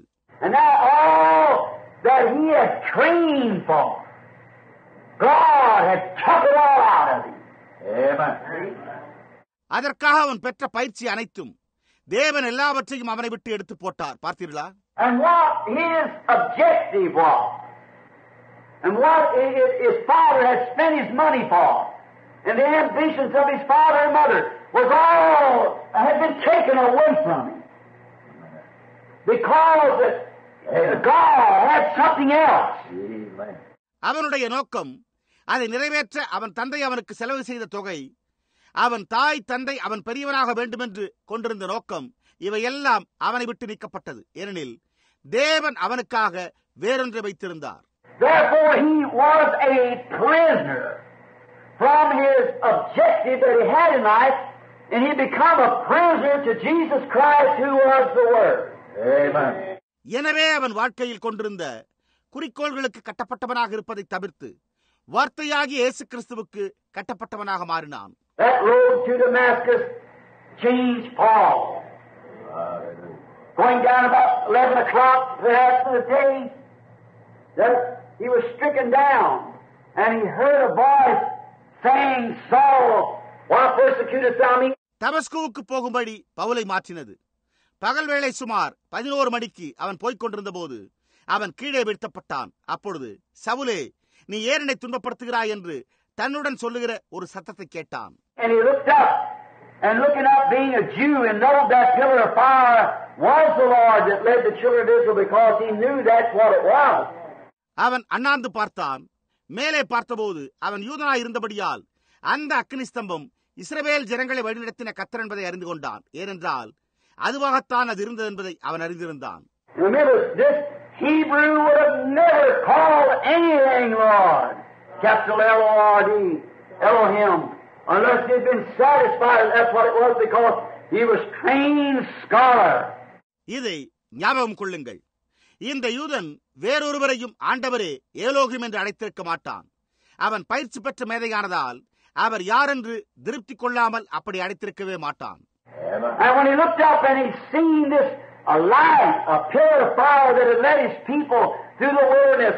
அவன் அண்ணாந்து பார்த்தபோது தன் ஜனங்களை வனாந்திரத்தில் வழிநடத்தின இந்த ஒளியை ஒரு அக்கனி ஸ்தம்பத்தை அவன் கண்டான் uh?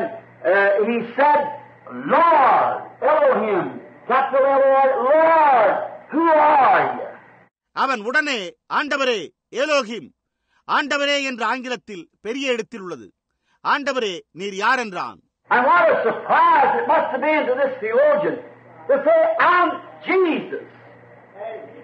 The very one that he was so against. What a, what a turnaround. Amen. அவர் இயேசு நானே என்று கூறினபோது வேத சாஸ்திரம் படித்திருந்த இவனுக்கு எவ்வளவு ஆச்சரியமாக இருந்திருக்க வேண்டும் அவன் யாருக்கு விரோதமாக இருந்தானோ அவர் என்னே ஒரு திருப்பம் Oh, oh, it must have been something terrific for this man. That Amen. all his ambitions that he had to find out all at once he'd been persecuting. ஓ ஓ உயரிய குறிக்கோள்களை கொண்டிருந்த இந்த மனிதனுக்கு அவன் யாரை துன்பப்படுத்திக் கொண்டிருந்தான் என்று கேட்டபோது எவ்வளவு பயங்கரமான அதிர்ச்சியா இருந்திருக்க வேண்டுமே Uh, his ambitions that drove him to a, to a, for, a farther away from the main thing that he meant to do. அவனுடைய ஆசைகள் அவன் செய்ய வேண்டும் என்று நியமிக்கப்பட்டிருந்த முக்கியமான காரியத்திலிருந்து அவனை தூர விலக்கி இருந்தன And what a, a great shock it must have been to this apostle Amen. when he said, I'm Jesus, the very one that he was persecuting. Why persecutest thou me? Amen. அவர் இயேசு நானே என்று கூறினதை கேட்டபோது இந்த அப்போஸ்தலனுக்கு அது எவ்வளவு பெரிய அதிர்ச்சியா இருந்திருக்க வேண்டும் அவன் துன்பப்படுத்திக் கொண்டிருந்த அதே ஒருவர் நீ என்னை ஏன் துன்பப்படுத்துகிறாய் என்றார் Another little uh, quotation we might drop in here. You see, as they make fun of the church, they're not really making fun of the church, they are making fun of Jesus. Hallelujah. இங்கு மற்றொரு சிறு மேற்கோளை நாம் பதியும்படி கூறலாம் அதாவது சபையை பரியாசம் செய்கிறவர்கள் உண்மையில் சபையை பரியாசம் செய்யவில்லை அவர்கள் இயேசுவையே பரியாசம் செய்கிறார்கள் என்பதை நீங்கள் புரிந்து கொள்ளலாம்? ஏன் என்னை துன்பப்படுத்துகிறாய் How could Paul then, with all his intellect, believe that this was that this group that he was uh, persecuting was the very God that he claimed to be serving? Amen. நுண்ணறிவு படைத்த பவுல் அவன் இந்த கூட்டத்தினரை துன்புறுத்தினதன் மூலம் அவன் சேவிப்பதாக உரிமை கோரின அந்த தேவனை துன்புறுத்தினான் என்பதை அவனால் எப்படி நம்ப முடிந்திருக்கும் I think that, uh, without going into details, I think we're all well trained enough to know what I mean here. The Amen. same thing is happening today. Yes. Amen. இதை அதிகமாக விளக்க அவசியமில்லை என்று நான் எண்ணுகிறேன் நான் இங்கே கூறுவதன் அர்த்தத்தை புரிந்து கொள்ள நாம் அனைவரும் நன்கு பயிற்சிக்கப்பட்டிருக்கிறோம் என்றே நான் எண்ணுகிறேன் அதே காரியம்தான் இன்றைக்கும் நடந்து கொண்டிருக்கிறது Paul, through ignorance, was yet intelligent and smart, much smarter than those uneducated Galileans that he was persecuting that had already in their humility accepted this man as Lord. Amen. Pavul அறியாமையின் காரணமாக இருப்பினும் அவன் புத்திசாலி சாமர்த்தியம் உள்ளவன் அவன் துன்பப்படுத்தின படிப்பில்லாத கலிலேயர்களை காட்டிலும் மிகவும் சாமர்த்தியம் உள்ளவன் இவர்கள் தங்கள் தாழ்மையில் கர்த்தரான இந்த மனிதனை ஏற்றுக்கொண்டனர் But Paul, in his great teaching and his intellectuals, could not accept that. And what a turnaround it must be to him on this road. ஆனால் பவுலோ அதிகம் படித்தும் நுண்ணறிவு படைத்திருந்தும் கூட அவனால் அதை ஏற்றுக்கொள்ள முடியவில்லை தமஸ்குவுக்கு போகும் வழியில் அது அவனுக்கு எத்தகைய திருப்பமாய் இருந்திருக்கும் blind, so he would not carry out his commission, but was led down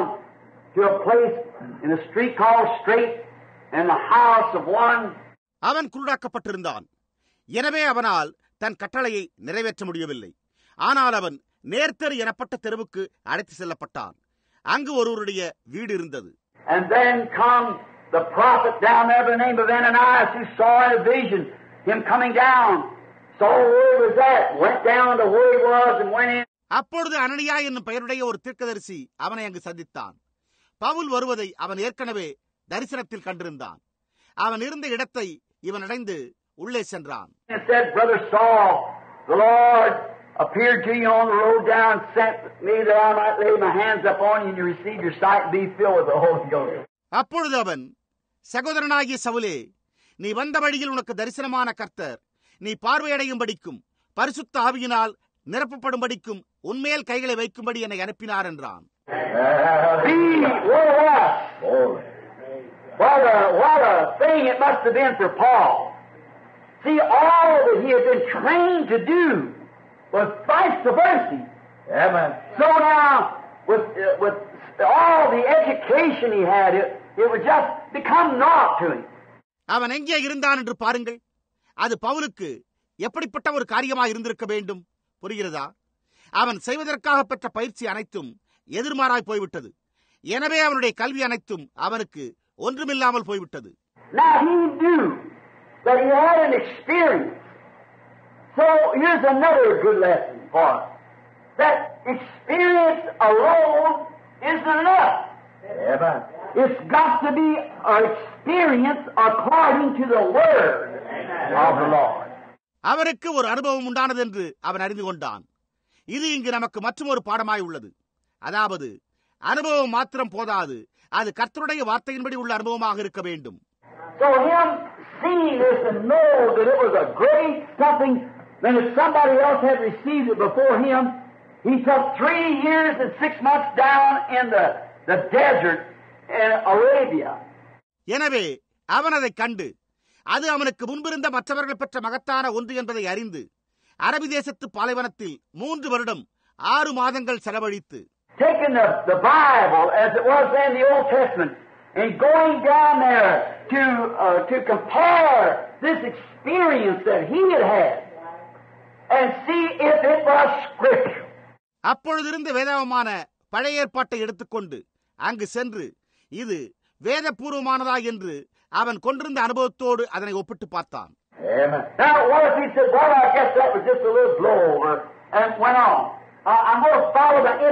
அவன் அது ஒரு சிறு சம்பவம் என்று நான் இருக்கிறேன் நான் அறிவாளிகளையே பின்பற்றுவேன் என்று கூறி சென்று விட்டிருந்தால் என்னவா இருந்திருக்கும்.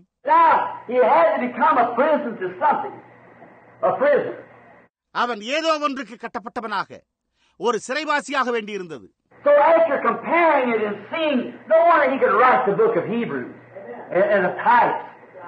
எனவே அவன் ஒப்பிட்டு பார்த்த பிறகு முன்னடையாளங்களை உபயோகித்து எபிரேய நிருபத்தை எழுதினான் என்பதில் வியப்பொன்றுமில்லையே See, three years and a half there laying in the Word and finding out that the very God that called him was taking him back and changing all of his intellects.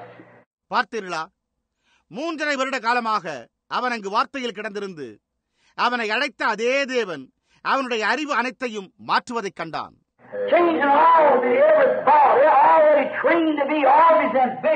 just wiped it away from him. Amen. And he became a prisoner.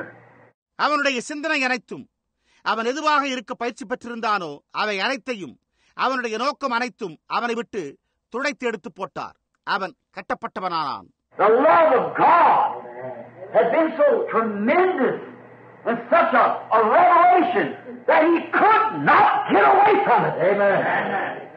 தேவனுடைய அன்பு மிக அதிகமாக இருந்து வெளிப்பாட்டை பெற்றபோது அவனால் அதிலிருந்து விலகிச் செல்ல முடியவில்லை That's the true experience of every real believer who meets God.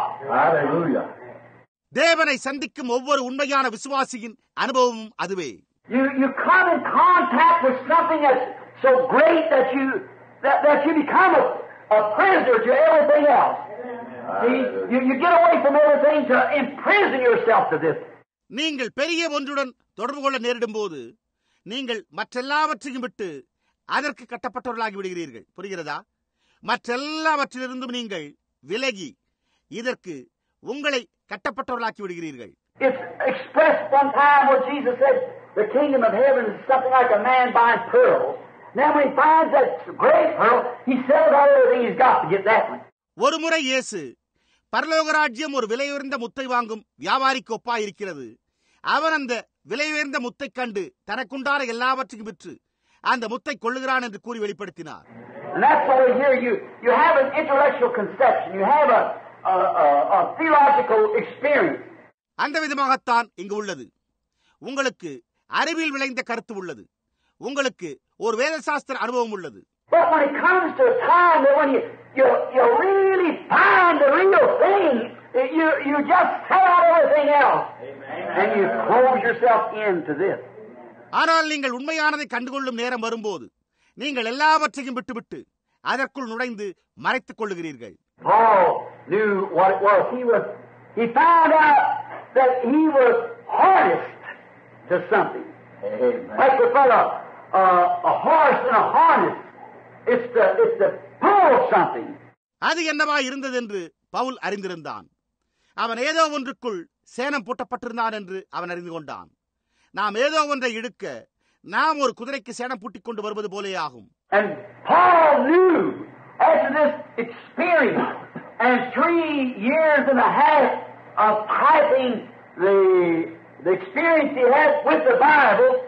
Pavul தான் பெற்ற அனுபவத்தை மூன்றரை வருட காலமாக வேதத்துடன் ஒப்பிட்டு பார்த்த பிறகே அறிந்து கொண்டான் he realized that God had chosen him and harnessed him by the Holy Spirit. The experience that he had to pull the gospel in the presence of the Gentiles. The Spirit itself harnessed him. தேவன் அவனை பரிசுத்தாவியின் மூலம் தெரிந்து கொண்டார் அவனுக்கு சேனம் பூட்டினார் என்பதை தெளிவாக உணர்ந்தான் அவனுடைய அனுபவத்தின் மூலம் புறஜாதிகளின் முன்னால் சுவிசேஷத்தை எடுத்துக்கொண்டு வர வேண்டும் என்று பரிசுத்த ஆவியானவரே அவனுக்கு சேனம் பூட்டினார் And today, as servants of Christ, we become harnessed, hooked up. We can't go where God be with us. Amen. Harnessed to the Word. இன்றைக்கு கிறிஸ்துவின் ஊழியக்காரர் என்னும் முறையில் நாமும் கூட சேனம் பூட்டப்பட்டு இணைக்கப்பட்டுள்ளோம் எனவே நாம் தனியாக செல்ல முடியாது நாம் அதனால் உள்ளே கொண்டு வரப்பட்டு நாம் வார்த்தைக்கு சேனம் பூட்டப்பட்டுள்ளோம் No matter what anyone else says, you're harnessed to it. There's something about it that you just can't get away from it. யார் என்ன கூறினாலும் கவலை இல்லை. நீங்கள் அதற்கு சேனம் பூட்டப்பட்டிருக்கிறீர்கள். அதில் ஏதோ ஒன்றுள்ள காரணத்தால் அதிலிருந்து நீங்கள் விலகிச் செல்ல முடியாது.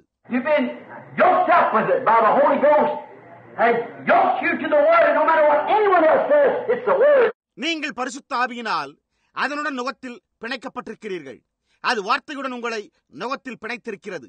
யார் என்ன கூறினாலும் கவலைப்பட வேண்டியதில்லை. அது வார்த்தையாய் உள்ளது. Harnessed up with it, put in a yoke with it. To the Word by the Spirit, he was harnessed. அதனோடு எப்போதும் சேனம் பூட்டப்பட்டு கொண்டு வரப்பட்டு அதனுடன் நுகத்தில் இணைக்கப்பட்டிருக்கிறீர்கள் அவன் பரிசுத்த ஆவியைக் கொண்டு வார்த்தைக்கு சேனம் பூட்டப்பட்டான் He had learned on the, this backside of the Arabian desert there, when all his former things and experiences and ambitions had been stripped of those things. அவன் அங்கே அரபி தேசத்து பாலைவனத்தின் பின்பக்கத்தில் கற்றுக்கொண்டான் அவனுடைய எல்லா பழைய காரியங்களும் அனுபவங்களும் லட்சியமும் அவனிலிருந்து அந்த காரியங்கள் களையப்பட்டன Now, that's what we find today, that we must be stripped first. And people don't want to be stripped. Amen. அவ்வாறே நாமும் முதலில் களையப்பட வேண்டுமென்று இன்று நாம் கண்டறிகிறோம் ஜனங்கள் களையப்பட விரும்புகிறதில்லை The Methodist brother wants to hold to a little bit of his Methodist teaching. Yeah. The Baptist brother wants to hold to a little bit of his Baptist teaching. Amen. Methodist சகோதரன் தன் Methodist போதகத்தை சிறிது பற்றிக்கொள்ள விரும்புகிறான் அதுபோல Baptist சகோதரனும் தன் Baptist போதகத்தை சிறிது பற்றிக்கொள்ளவே விரும்புகிறான் புரிகிறதா But you've got to absolutely be stripped of everything. And just born again afresh and take up from there that the Holy Spirit leads you.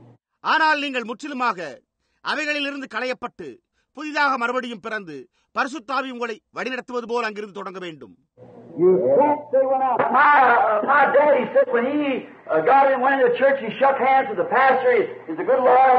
பாருங்கள் இப்பொழுது என் தகப்பனார் போதகரோடு சபையில் கைகுலுக்கின போது இதை பெற்றுக்கொண்டார் என்று அவரே கூறினார் அவர் ஒரு விசுவாசமுள்ள சபை உறுப்பினர் என்று நீங்கள் சொல்ல முடியாது. Now we must come back to the Bible times for this day. அது அவருடைய இனத்துக்கு சரியா இருந்திருக்கலாம் ஆனால் நாமோ வேறு இனத்தை சேர்ந்தவர்கள் புரிகிறதா இப்பொழுது நாம் இந்த நாளில் வேதாகம முறைகளுக்கு திரும்பி வர வேண்டும் The priest was harnessed too. But you see, they come over into a, another dispensation. And they, they fail to strip off the old harness and put on the new harness.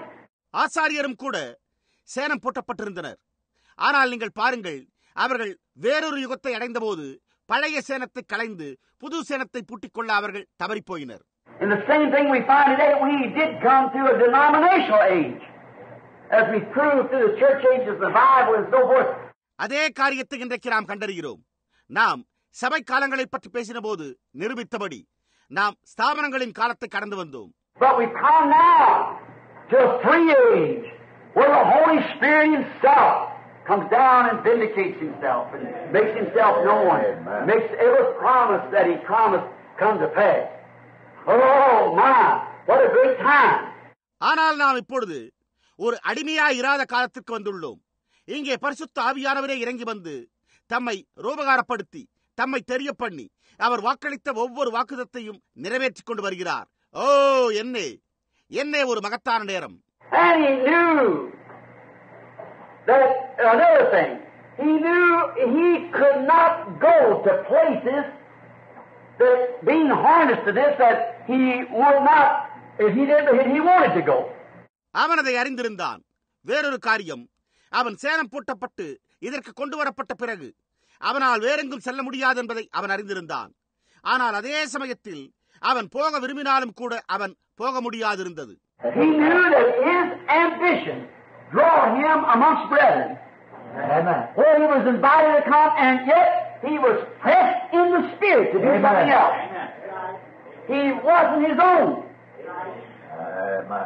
அவன் பெரியவனாக வேண்டுமெனும் குறிக்கோள் அவன் வரும்படி அடைக்கப்பட்டிருந்த சகோதர மத்தியில் அவன் போகத் தூண்டினாலும் அவன் வேறொன்றை செய்ய ஆவியில் நெருக்கப்பட்டான் அவன் தனக்கு சொந்தமானவனாய் இருக்கவில்லை Maybe somebody could say, uh, Brother Saul, Brother Paul, we want you to come over here because we've got the biggest church, we've got the biggest congregation, your offerings will be great, and so forth. யாராவது ஒருவர் அவனிடம் சகோதரன் சவுலே சகோதரன் பவுலே நீ இங்கு வர வேண்டும் என்று நாங்கள் விரும்புகிறோம். ஏனென்றால் நாங்கள் மிகப்பெரிய சபையை உடையவர்களாய் இருக்கிறோம். நாங்கள் அதிக எண்ணிக்கை கொண்ட சபை உடையவர்களாய் இருக்கிறோம். உங்களுக்கு நிறைய காணிக்கை முதலீடு கிடைக்கும் என்று கூறியிருக்க கூடும் Amen. he thought, "Eh, I got a brother over there, I'd like to go over and save this brother, get him to the Lord. But yet the Spirit pressed him to go somewhere else. He was a prisoner. Amen. Correctly. அவன் ஆவியில் நெருங்கி ஏவப்பட்டு இங்கு எனக்கு ஒரு சகோதரன் இருக்கிறார் நான் அங்கு சென்று இந்த சகோதரனை ரட்சிப்புக்குள் கொண்டு வர வேண்டும் அவரை கத்திரிடத்தில் கொண்டு வர விரும்புகிறேன் என்று அவன் நினைத்திருப்பான் ஆனால் அதே சமயத்தில் வேறெங்கோ செல்லும்படி ஆவியானவர் அவனை நெருக்கி ஏவினார் அவன் ஒரு சரியாக Oh,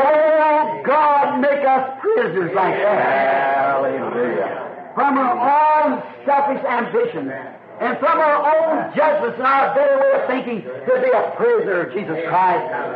ஓ தேவரே எங்களை அது போன்ற சிறைவாசிகளாக்கி எங்களுடைய சொந்த சுயநல குறிக்கோள்களில் இருந்தும் எங்களுடைய சொந்த தீர்ப்புகள் எங்களுடைய சிறந்த சிந்தனைகளின் வழியிலிருந்து விடுபட்டு இயேசு கிறிஸ்துவினால் கட்டப்பட்டவர்களாய் இருக்க செய்யும் I think that was a great statement. I'm a prisoner to Jesus Christ. And remember, He is the Word. See? நான் இயேசு கிறிஸ்துவுக்கு ஒரு சிறைவாசியா இருக்கிறேன் என்பதே ஒரு மகத்தான வாக்குமூலம் என்று நான் கருதுகிறேன் ஞாபகம் கொள்ளுங்கள் அவரே வார்த்தை புரிகிறதா No matter what anyone else thinks, it's the Word. See, if you're a prisoner to the Word, no denomination can sway you from it. It's, it's the Word. You're just you're a prisoner to it. That's all.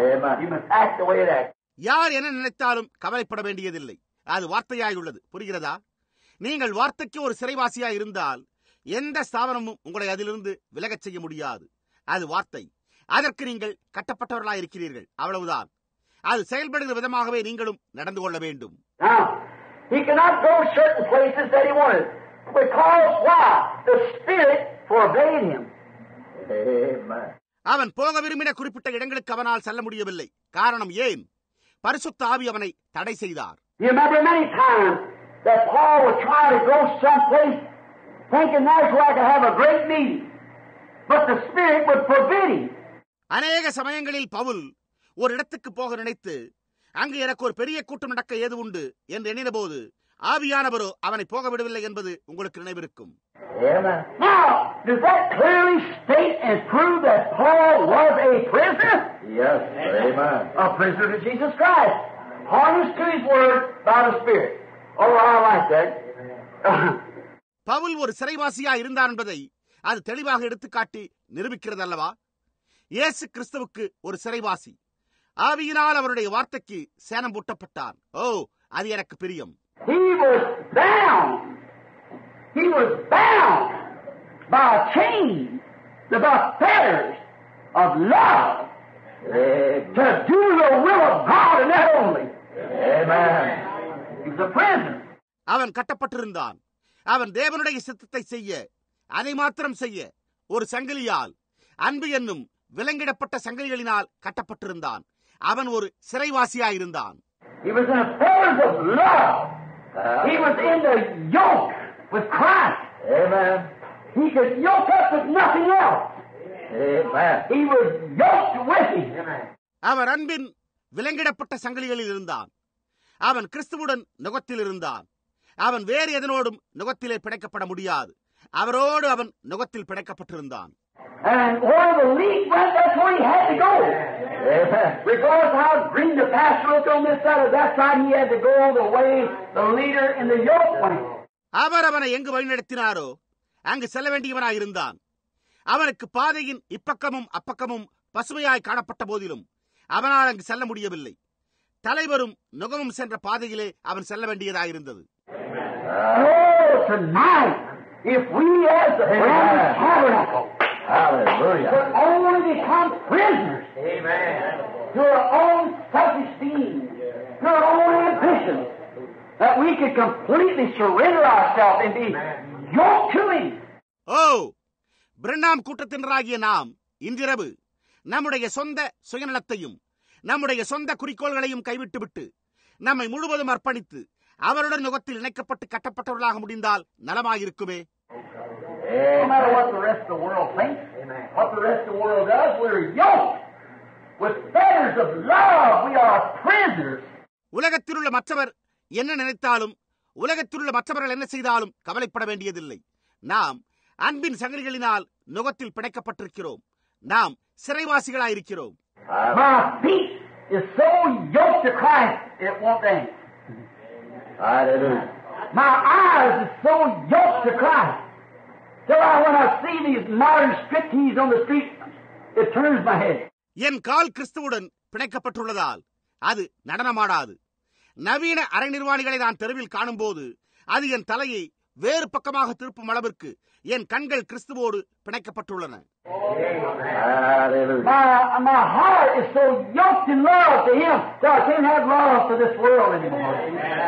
நான் இனிமேல் இந்த உலகத்தின் மேல் அன்பு கூற முடியாதபடி என் இருதயம் அன்பினால் அவருடன் பிணைக்கப்பட்டுள்ளது?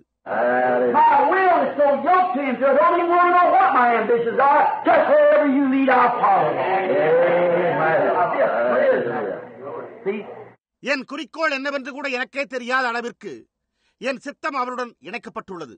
கர்த்தாவே என்னை நீர் எங்கு நடத்தினாலும் உம்மை பின்தொடர்ந்து செல்வேன். நான் ஒரு சிறைவாசியாக இருப்பேன் பார்த்தீர்களா? Paul was correctly a prisoner. He wasn't making any wrong statement. He was trained by the Holy Ghost, again, to wait on the Word. Pavul சரியாக ஒரு சிறைவாசியாக இருந்தான் அவன் தவறான எந்த வாக்குமூலத்தையும் கூறிக்கொண்டிருக்கவில்லை அவன் வார்த்தையின் பேரில் காத்திருக்க மீண்டும் பரிசுத்த ஆவியானவரால் பயிற்றுவிக்கப்பட்டிருந்தான் Now he'd been trained one way, but, but God had trained him another way now. He was trained by the Holy Spirit to wait upon the Lord. No matter what his ambitions were.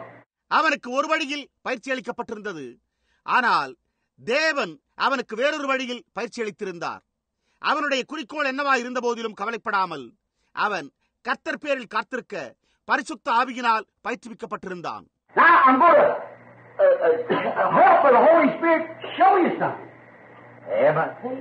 பரிசுத்தாவியின் உதவியினால் நான் உங்களுக்கு ஒன்றை காண்பிக்கப் போகிறேன் பார்க்கலாமா Now let's just take an instance. One day, Paul and Silas coming down the street in a certain city where there's holding a revival, and a little demon-possessed girl kept following him, crying out after him. இப்பொழுது நாம் உதாரணமாக ஒன்றை எடுத்துக்கொள்வோம் ஒரு நாள் பவுலும் சீலாவும் ஒரு குறிப்பிட்ட நகரில் இருந்த தெருவின் வழியாக வந்து கொண்டிருந்தனர் அங்கு அவர்களோ ஒரு எழுப்புதல் கூட்டத்தை நடத்தி கொண்டிருந்தனர் அப்பொழுது பிசாசு பிடித்த ஒரு பெண் பவுலை பின்தொடர்ந்து சத்தமிட்டுக் கொண்டே வந்தாள்.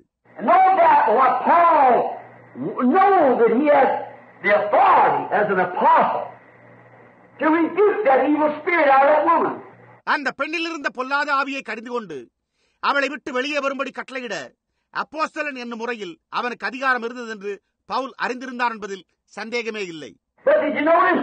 He waited day after day until all of a sudden the Holy Spirit spoke to him. Amen. That this is the hour. And he said, Thou spirit, come out of her. See? He knows to wait on the Lord. ஆனால் நீங்கள் கவனித்தீர்களா அவன் ஒவ்வொரு நாளும் காத்திருந்த போது திடீரென்று பரிசுத்த ஆவியானவர் அவனிடம் பேசினார் அப்பொழுது அவர் இதுதான் அந்த நேரம் என்று கூறினார் அப்பொழுது பவுல் அசுத்தாவியே அவளை விட்டு வெளியே வா என்று கூறினான் புரிகிறதா பாருங்கள் அவன் கர்த்தருக்கு காத்திருக்க அறிந்திருந்தான் And there's where so many people they bring reproach upon the word. They go out with an ambition.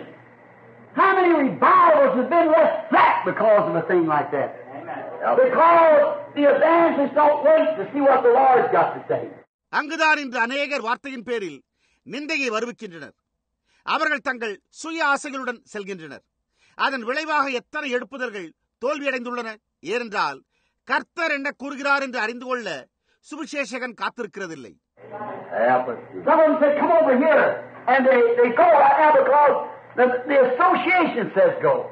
அவர்களில் சிலர் இங்கு வாருங்கள் என்று அழைத்தால் அவர்கள் உடனேயாக சென்று விடுகிறார்கள். ஏனெனில் அவர்களுடைய சங்கம் போய்விடுங்கள் என்று உத்தரவிடுகிறது. And the Holy Spirit would say something different, yet the ambition of the man to become the state presbyter or, or something other, or some uh, elder or some bishop or something, would, would pull him. You must go.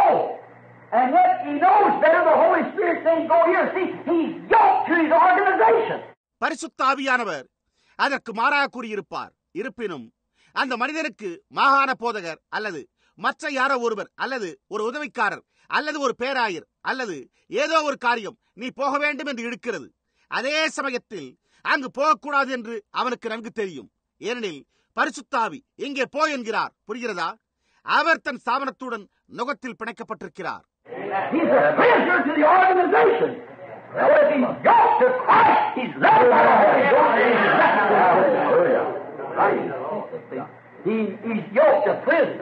அவர் ஸ்தாபனத்துக்கு ஒரு சிறைவாசியா இருக்கிறார் ஆனால் அவர் கிறிஸ்துவுடன் நுகத்தில் பிணைக்கப்பட்டிருந்தால் அப்பொழுது அவர் பரிசுத்த ஆவியினால் வழிநடத்தப்படுவார் புரிகிறதா அவர் இயேசுவினால் பிணைக்கப்பட்ட ஒரு சிறைவாசியாவார்.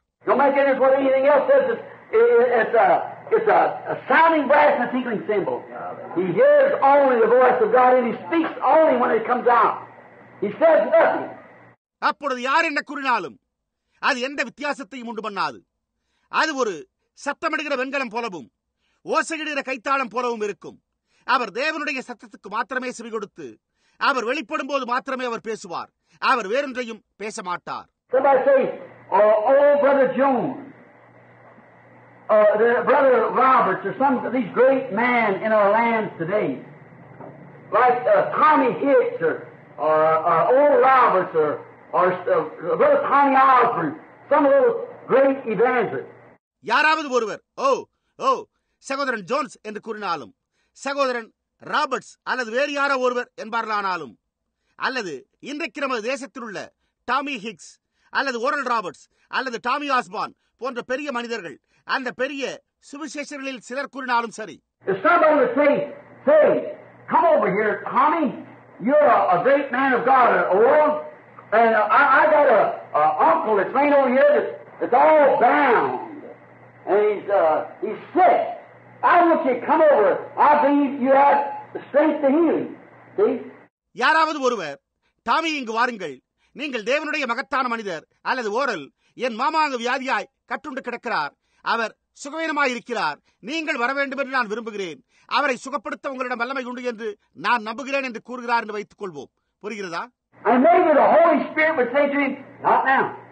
ஒரு கால் பரிசுத்தாவி அவரிடம் இப்பொழுது போக வேண்டாம் என்று கூறியிருக்க கூடும் But yet, to the friendship of that man, he's duty bound to go with him. if he don't, he becomes an enemy to that man. ஆயினும் அதே சமயத்தில் அந்த மனிதனிடம் அவர் கொண்டுள்ள நட்பின் நிமித்தம் அவர் அவருடன் செல்ல கடமைப்பட்டிருக்கிறார் அவர் அப்படி போகாவிட்டால் அந்த மனிதனுக்கு சத்துருவாகி விடுகிறார் That man said, well, he went to so-and-so, he healed that child, or that boy, I know he did, and I've been his friend for years. See? And he wouldn't come to my place. But if he's constrained by the Holy Spirit not to go, he better not go. If he's up to God, அந்த மனிதன் அவர் இன்னார் இன்னாரிடம் சென்று அந்த பிள்ளைக்கு அல்லது அந்த பையனை சுகமாக்கினார் அவர் அதை செய்தது எனக்கு தெரியும் பாருங்கள் நான் அநேக ஆண்டுகளாக அவர் நண்பராய் இருந்தும் கூட என்னுடைய இடத்திற்கு வரமாட்டேன் என்கிறார் என்று கூறுவார். ஆனால் அவர் பரிசுத்த ஆவியினால் அங்கு போக வேண்டாம் என்று தடை செய்யப்பட்டார். அவர் தேவனோடு நுகத்தில் பிணைக்கப்பட்டிருந்தால் அப்பொழுது அவர் அங்கு போகாமல் இருப்பது நல்லது.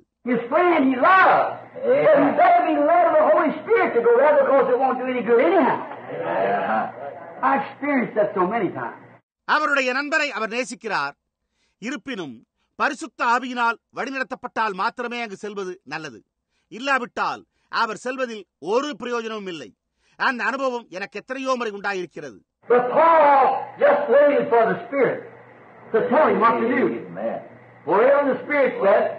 பவுல் என்ன செய்ய வேண்டும் என்று பரிசுத்தாவி கூறும் வரைக்கும் அவன் காத்திருந்தான் பரிசுத்த ஆவிக்காக காத்திருங்கள் என்று கூறப்பட்டுள்ளது he stood one night preaching and he walked out there and seen a crippled man.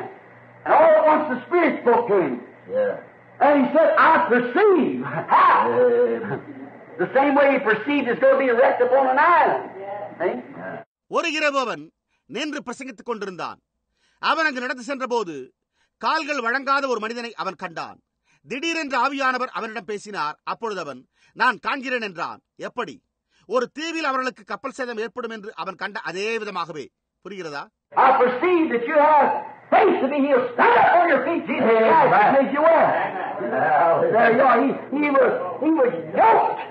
நீ சுகம்பெற உனக்கு விசுவாசம் உண்டு என்று நான் காண்கிறேன் எழுந்து காலூன்றினில் இயேசு கிறிஸ்து உன்னை குணமாக்கினார் பார்த்தீர்களா அங்குதான் காரியமே உள்ளது அவன் பிணைக்கப்பட்டிருந்தான் He might have held a week's revival there and nothing had happened.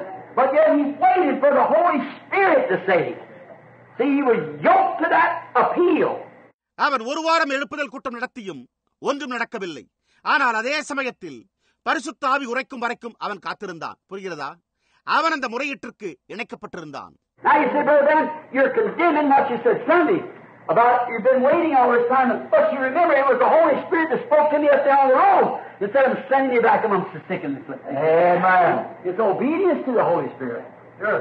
நீங்கள் சகோதரன் பிரணாமே நீங்கள் ஞாயிற்றுக்கிழமை கூறினதற்கு இப்பொழுது முரணாக கூறுகிறீர்களே இவ்வளவு காலமாக காத்திருந்ததை குறித்து எனலாம் ஆனால் பரிசுத்த ஆவியானவர் தாமே என்னிடம் வழியில் பேசி உன்னை வியாதிஸ்தரிடத்திற்கும் பாதிக்கப்பட்டவர்களிடத்திற்கும் அனுப்புகிறேன் என்றார் என்பதை நினைவில் கொள்ளுங்கள் புரிகிறதா அது பரிசுத்த ஆவிக்கு கீழ்ப்படிதல் நிச்சயமாக I didn't go until he told me to do it. I was waiting for thus saith the Lord until I got thus saith the Lord. Now, that's different. see. Now, it, it makes a difference. Yes. அவர் நான் போயதை செய்யும்படி கட்டளையிடும் வரைக்கும் நான் போகவில்லை நான் கர்த்தர் உரைக்கிறதாவது என்பது எனக்கு கிடைக்கும் வரையில் கர்த்தர் உரைக்கிறதாவது என்பதற்காக காத்துக் கொண்டிருந்தேன் இப்பொழுது அது வித்தியாசமாய் உள்ளது புரிகிறதா இப்பொழுது அது ஒரு வித்தியாசத்தை உண்டு பண்ணுகிறது ஆம் He waited for the word of the Lord. He was pressed in the Spirit to do only God's bidding. Then he become a prisoner uh, of Jesus Christ. Friends, if we could only become prisoners. அவன் கர்த்தருடைய வார்த்தைக்காக காத்திருந்தான் தேவனுடைய கட்டளையை செய்யவே ஆவியானவர் அவனை வற்புறுத்தினார் அவன் அப்பொழுது இயேசு கிறிஸ்துவின் சிறைவாசியானான். நண்பர்களே நாம் மட்டும் சிறைவாசிகளாகிவிட்டால் நலமாயிருக்குமே?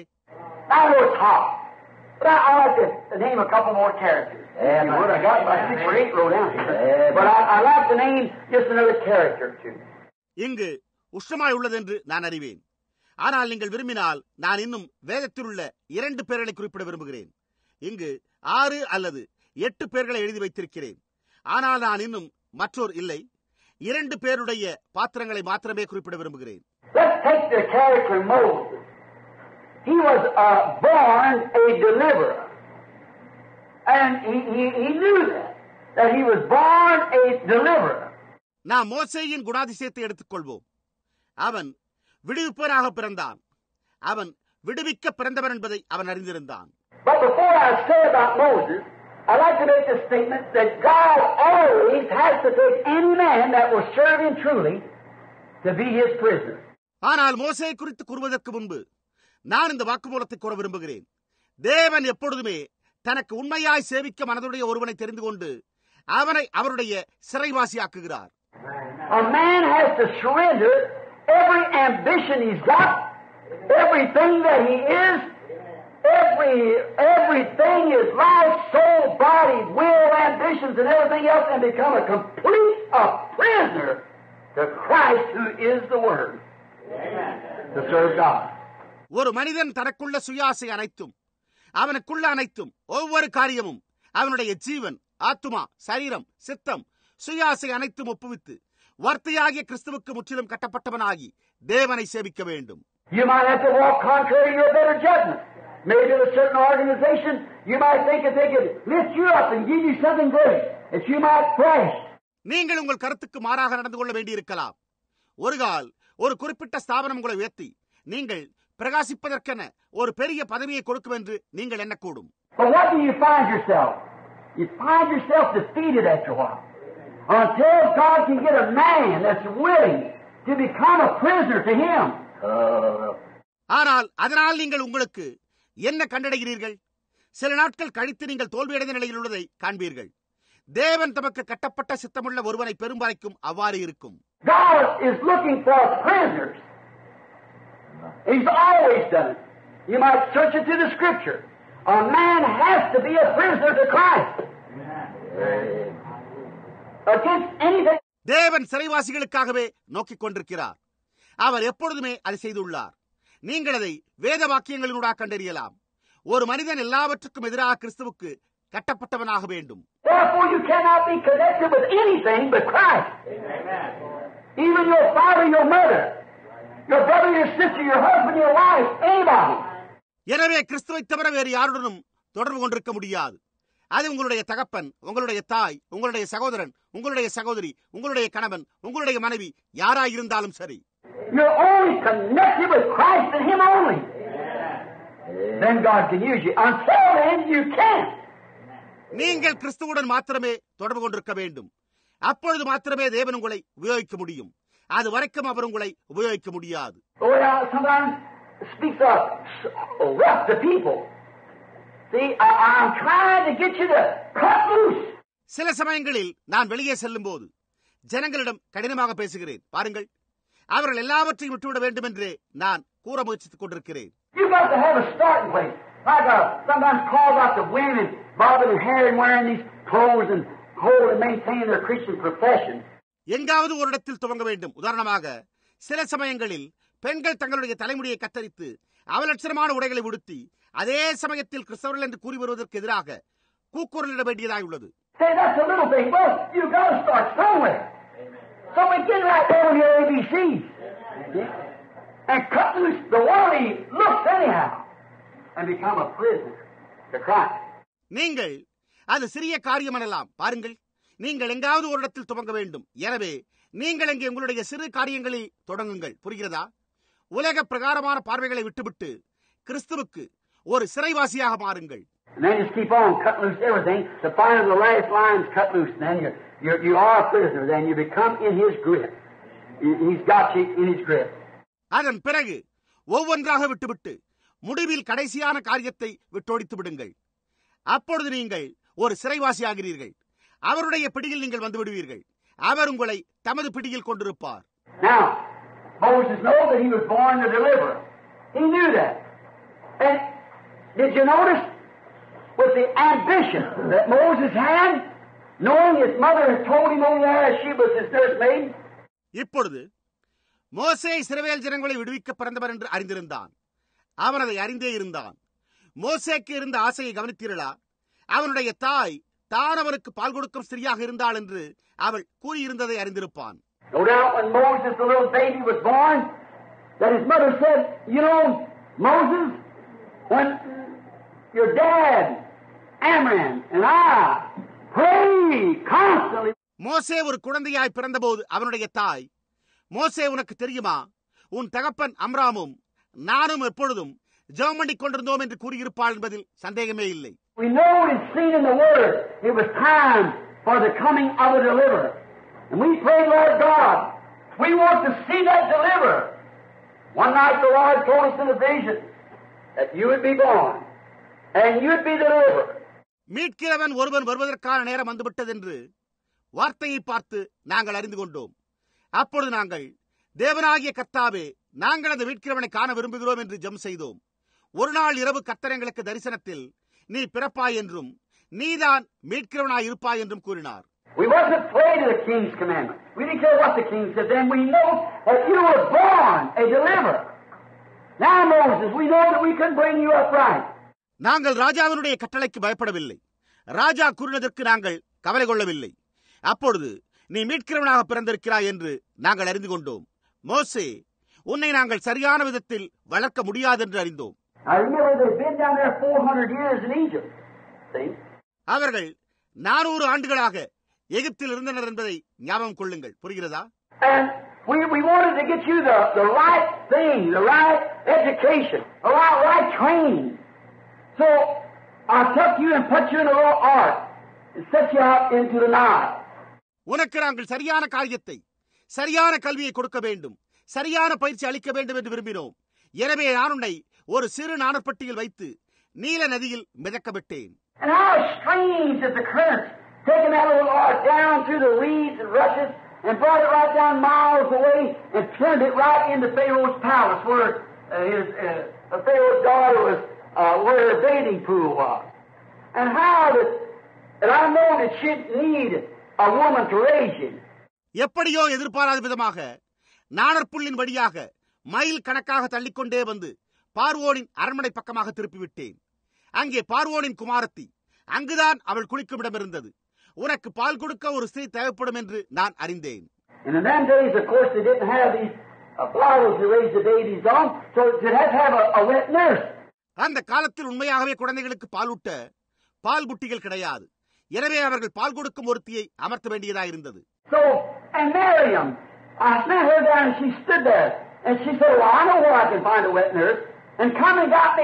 நான் மீரியாமை அங்கு அனுப்பினேன். அவள் அங்கு நின்று கொண்டு பால் கொடுப்பவள் எங்கிருக்கிறாள் என்று என்னால் கண்டறிய முடியும் என்பது எனக்கு தெரியும் என்று சொல்லி என்னை அழைத்து சென்றாள்.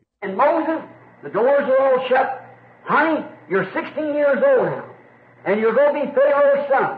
And someday, you're going to be the deliverer that's going to take the people out of here. எல்லா கதவுகளும் அடைக்கப்பட்ட பிறகு மோசே என்று அழைத்து தேரே உனக்கு இப்பொழுதோ பதினாறு வயதாகிவிட்டது நீ பார்வோனின் குமாரனாக போகின்றாய் என்றோ ஒரு நாள் நீ ஜனங்களை விடுவித்து இங்கிருந்து கொண்டு செல்லப் போகிறாய் என்றாள்.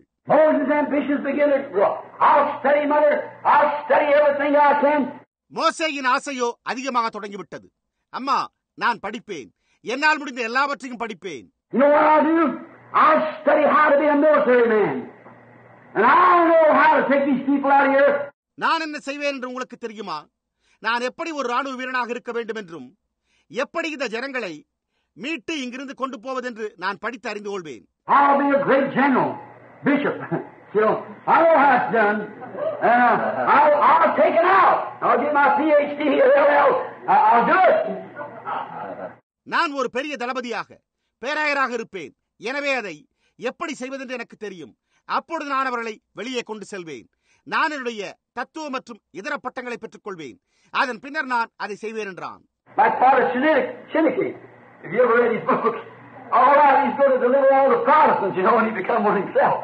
கத்தோலிக்க குருவானவர் பிதா சிரிக்வியை போல் அவருடைய புத்தகத்தை நீங்கள் படித்ததுண்டா? சரி அவர் புராட்டஸ்டன்ட்களை அந்த மார்க்கத்திலிருந்து விடுவிக்கப் போய் அவரே புராட்டஸ்டன்ட் ஆகிவிட்டார் என்பதை நீங்கள் அறிவீர்களா So, this great priest years ago, Father Chinnicky, you ought to get his book and read it. They call him Father. It's just his brother Chinnicky what it was. We don't call no man Father like that.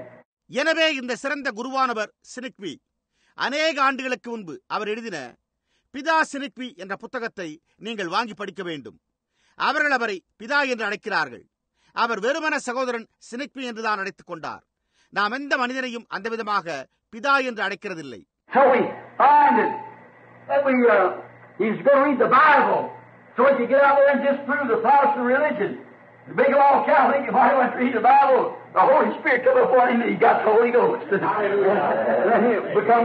uh. Our Protestant மார்க்கம் தவறென்று நிரூபிக்கவும் அவர்கள் எல்லோரையுமே கத்தோலிக்கராக்க வேதாகமத்தை படித்தார் என்பதை நாம் கண்டறிகிறோம் அவர் வேதாகமத்தை படிக்க தொடங்கின போது பரிசுத்த ஆவியானவர் அவர் மேல் வந்தார் அப்பொழுது அவர் பரிசுத்த ஆவியை பெற்று அதன் பின்னர் அவர்களில் ஒருவரைப் போல் ஆகிவிட்டார்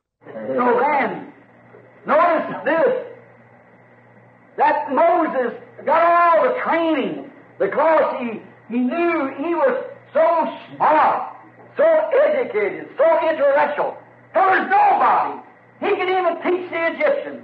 எனவே இதை கவனியுங்கள் மோசே எல்லா பயிற்சியும் பெற்றான் ஏனெனில் அவனுக்கு தெரியும் அவன் மிகவும் சாமர்த்தியசாலி அதிக கல்வி கற்றவன் அதிக நுண்ணறிவு படைத்தவன் எனவே யாருமே அதாவது அவனால் எகிப்தியருக்கும் கூட கற்றுத்தர முடிந்தது.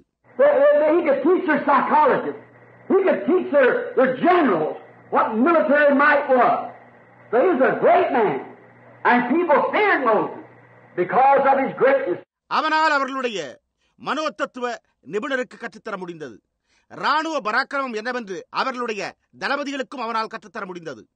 அவன் ஒரு மகத்தான மனிதனாய் இருந்தான். அவனுடைய மேன்மையின் காரணமாக ஜனங்களோ மோசேக்கு பயந்தனர்.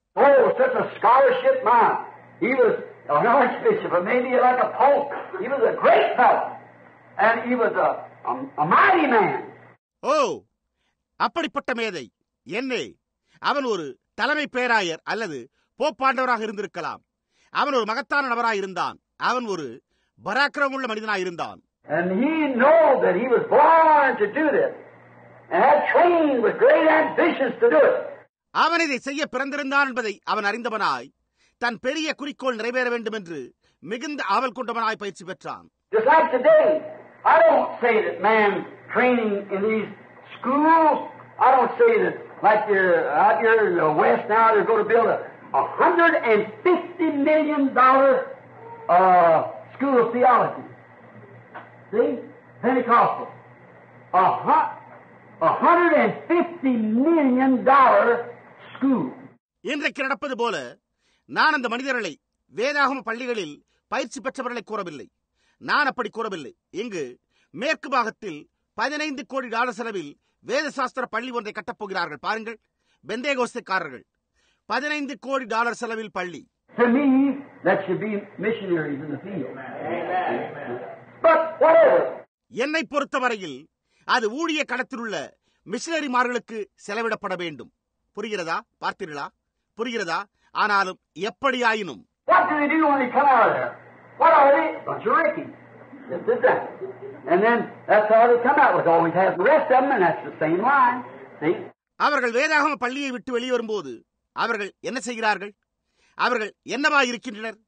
ஒரு கூட்ட நவநாகரிக பண்பற்ற ரிக்கிகளாக இருக்கிறார்கள் நிச்சயமாக.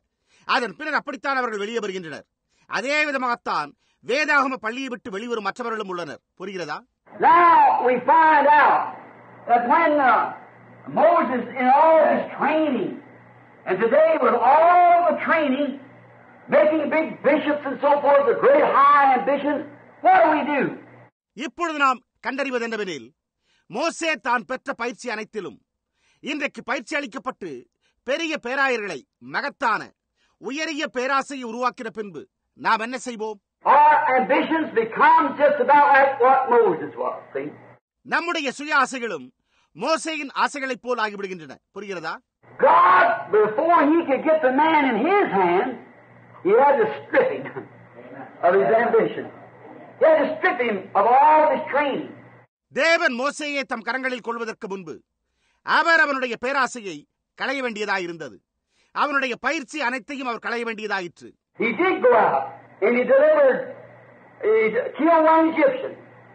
Uh, and when he did, he found out that he was in the wrong. He couldn't do that. It wasn't that way. அவன் வெளியே சென்றான். அவன் விடுவித்தான். அவன் ஒரு எகிப்தியனை கொன்றான். அவன் அப்படி செய்தபோது அவன் தவறானதில் இருந்தான் என்பதை அவன் கண்டான். அவன் அப்படி செய்திருக்க கூடாது அதுவல்ல முறை.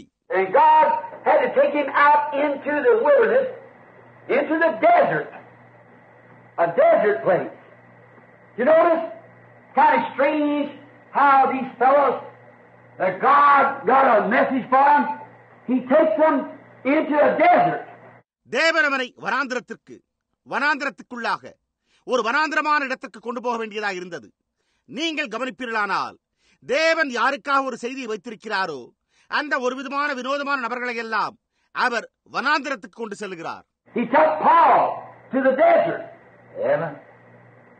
To train him, to tell him what all this great vision was. Out into the desert. Go out to a certain desert.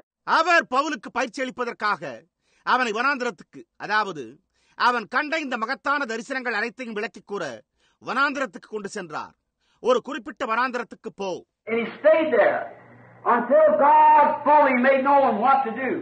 என்ன செய்ய வேண்டும் என்று தேவன் அவனுக்கு முழுவதுமாக அறிவிக்கும் வரையில் அவன் அங்கு தரித்திருந்தான்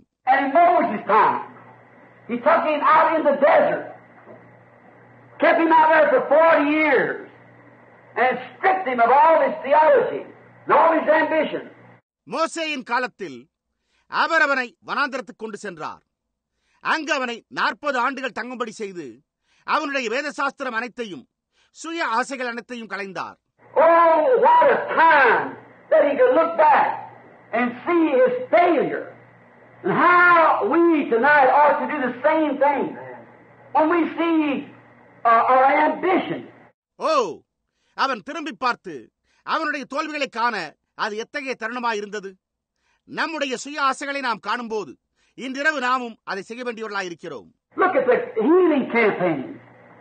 As soon as the Lord did something a few years ago to start restoring healing to the sick and so forth, சுகமளிக்கும் கூட்டங்களை கவனித்து சில ஆண்டுகளுக்கு முன்பு தொடங்கி தேவன் வியாதியஸ்தருக்கு சுகமளிக்க தொடங்கினாரா என்பதை பாருங்கள் everybody, every organization, uh, because it didn't come into their organization, they had to get them a healer. And what have we done? Let's look at it just a moment. ஒவ்வொருவரும் ஒவ்வொரு ஸ்தாபனமும் சுகமளிக்கும் வரம் பெற்றவர் தங்கள் ஸ்தாபனத்தில் சேர மறுத்த காரணத்தால் அவர்கள் தங்களுக்கென சுகமளிக்கும் ஒருவரை பெற விடைந்தனர் நாம் என்ன செய்து விட்டோம் நாம் அதை சிறிது நேரம் சிந்திப்போம் We have done the same thing that Moses did. We went out and tried so hard to manufacture some kind of a miracle. மோசே செய்த அதே காரியத்தை நாம் செய்துள்ளோம் நாம் சென்று ஏதோ ஒரு விதமான அற்புதத்தை உற்பத்தி செய்ய முயன்றோம் I smelt a disease. I, I, I got blood in my hand. And a manufacture a miracle. Lord help. நான் வியாதியை முகருகிறேன் என் கையில் ரத்தம் படுகிறது என்று கூறினோம் ஒரு அற்புதத்தை உற்பத்தி செய்தல் See? And what have we got? Some of a man in such hard strains has broke up and become regular drunkards, neurotics, and got their mind. பார்த்தீர்களா இப்பொழுது நாம் பெற்றுள்ளது என்ன அவர்களில் சிலர் அதிக இறுக்கமடைந்து அதை விட்டு விலகி நிரந்தரமான குடிகாரராகவும் நரம்பு தளர்ச்சி உள்ளவர்களாகவும் தங்கள் சிந்தைகளை கெடுத்துக் கொண்டனர் And switched all the way back to uh, or- from the Pentecostal objective back to making organizations and things again. அவர்கள் திரும்பிச் சென்று பெந்தேகோஸ்தே குறிக்கோளில் இருந்து அகன்று ஸ்தாபனம் உண்டாக்கி கொண்டு விட்டனர் See, what have we done? Slew about one Egyptian. Yeah. That's right. புரிகிறதா நாம் என்ன செய்து விட்டோம் நாம் ஒரு எகிப்தியனை கொன்றோம் அது உண்மை And we tried, we strained, we paid, we labored all night long to prayer meetings till we had no voice. நாம் முயன்று நாம் பாடுபட்டு நாம் பணம் கொடுத்து நாம் ஜபக்கூட்டங்களில் இரவு முழுதும் உழைத்தும் நாம் எந்த ஆதரவையும் பெறவில்லை and, and try to manufacture something and soup up something and all these kinds of things and find it to be a total failure. That's we need a going back to the desert. Amen. Right. எனவே நாம் ஏதோ ஒன்றை உற்பத்தி செய்ய முயன்று. ஏதோ ஒரு விருந்து. இந்த காரியங்களின் எல்லா மாதிரிகளிலும் முழுவதும் தோல்வியடைந்து விட்டதையே கண்டறிகிறோம். நாம் மனாந்திரத்துக்கு திரும்பி செல்ல வேண்டியது அவசியம். அது உண்மை. ஆமையா Hurricanes and struggles. Why not just give up? That's what you ought to do. Amen. Go back and give up. விரிசல்களும் போராட்டங்களும் அதை ஏன் விட்டுவிடக் கூடாது அதைத்தான் நீங்கள் செய்ய வேண்டும். பாருங்கள் திரும்பி சென்று அதை கைவிட்டு விட வேண்டும் Well, we've done the same thing they did, same thing Moses did. It doesn't do any good. After 40 years, he found himself a prisoner to the Word of God. ஏன் நாம் மோசே புரிந்த அதே செயலை செய்து கொண்டு வந்தோம் அதனால் ஒரு உபயோகமும் இல்லை நாற்பது ஆண்டுகள் கழித்து மோசே அவன்தானே தேவனுடைய வார்த்தைக்கு ஒரு சிறைவாசியாக இருப்பதை அறிந்து கொண்டான் What do we try to do when the great blessing come out and the manifestation of all these great things that God has told us about how that we must be born again, how we must receive the Holy Ghost, the baptism in the name of Jesus Christ, and all these things here. நாம் என்ன செய்ய முயற்சிக்கிறோம் தேவன் நம்மை குறித்து கூறியுள்ள இந்த மகத்தான காரியங்களின் எல்லா வெளிப்படுத்தலுமான நாம் எப்படி மறுபடியும் பிறக்க வேண்டும் நாம் எப்படி பரிசுத்தாவை பெற்றுக்கொள்ள வேண்டும் இயேசு கிறிஸ்துவின் நாமத்தினால் ஞானஸ்தானம் பெற்றுக்கொள்ள வேண்டும் என்பது போன்ற சத்தியங்கள் எடுத்துரைக்கப்பட்ட போது இந்த மகத்தான ஆசீர்வாதங்கள் உண்டாயின You see, people instead of staying to that word harnessed to it, what did they do? They started with their own denominational theory, which had already failed, and tried to manufacture something to look like the truth. Oh, help us. நீங்கள் பாருங்கள் ஜனங்கள் வார்த்தைக்கு சேனம் பூட்டப்பட்டு அதில் நிலைத்திருப்பதற்கு பதிலாக அவர்கள் என்ன செய்கிறார்கள் அவர்கள் தங்கள் சொந்த ஸ்தாபன தத்துவங்களை கைக்கொள்ளத் தொடங்கினர். அது ஏற்கனவே தோல்வி அடைந்திருந்தது உண்மையைப் போல் காட்சியளிக்கும் ஏதோ ஒன்றை உற்பத்தி செய்ய முயற்சிக்கின்றனர்.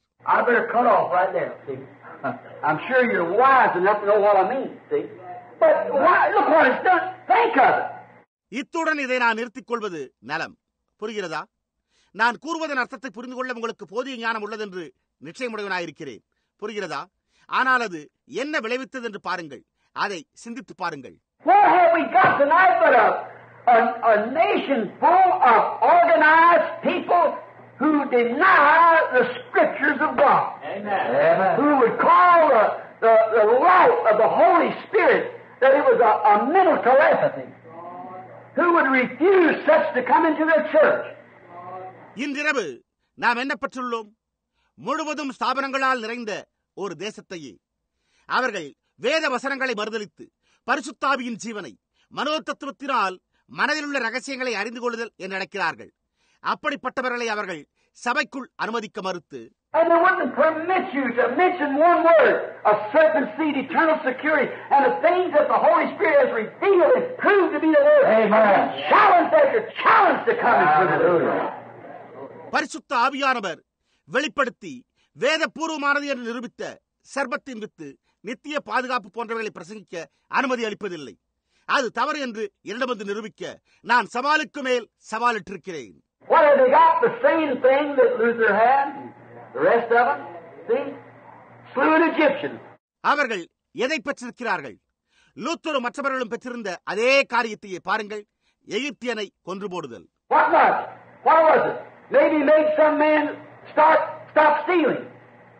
or maybe live true to his wife. அது என்னவா இருந்தது? ஒரு கால் அதுவோ ஒரு மனிதனை தன் திருட்டுத்தனத்திலிருந்து திருப்பி இருக்கக்கூடும் அல்லது தன் மனைவிக்கு உண்மையாய் வாழும்படி செய்திருக்கக்கூடும்?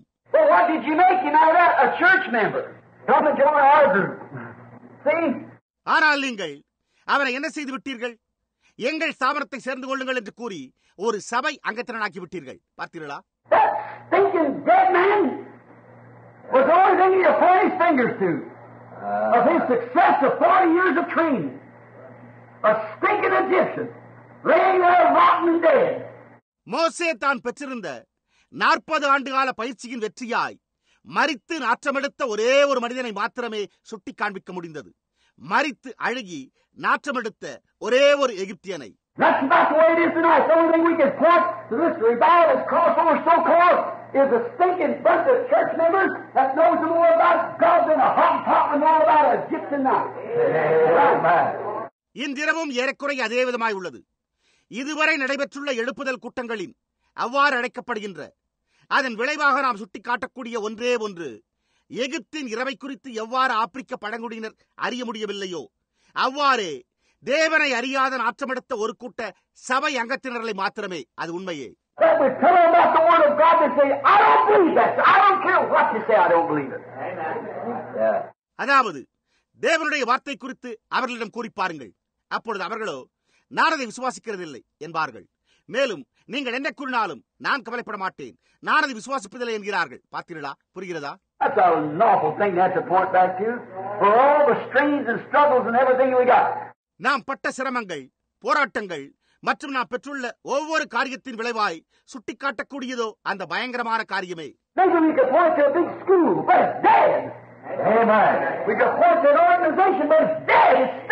ஒரு கால் நாம் பெரிய வேதாம பள்ளியை பெற்று அதை சுட்டிக்காட்ட முடியும். ஆனால் அது மறித்து விட்டது நாம் ஒரு ஸ்தாபனத்தை சுட்டிக்காட்ட முடியும். அது மறித்து விட்டது அது நாற்றமெடுத்துக் கொண்டிருக்கிறது.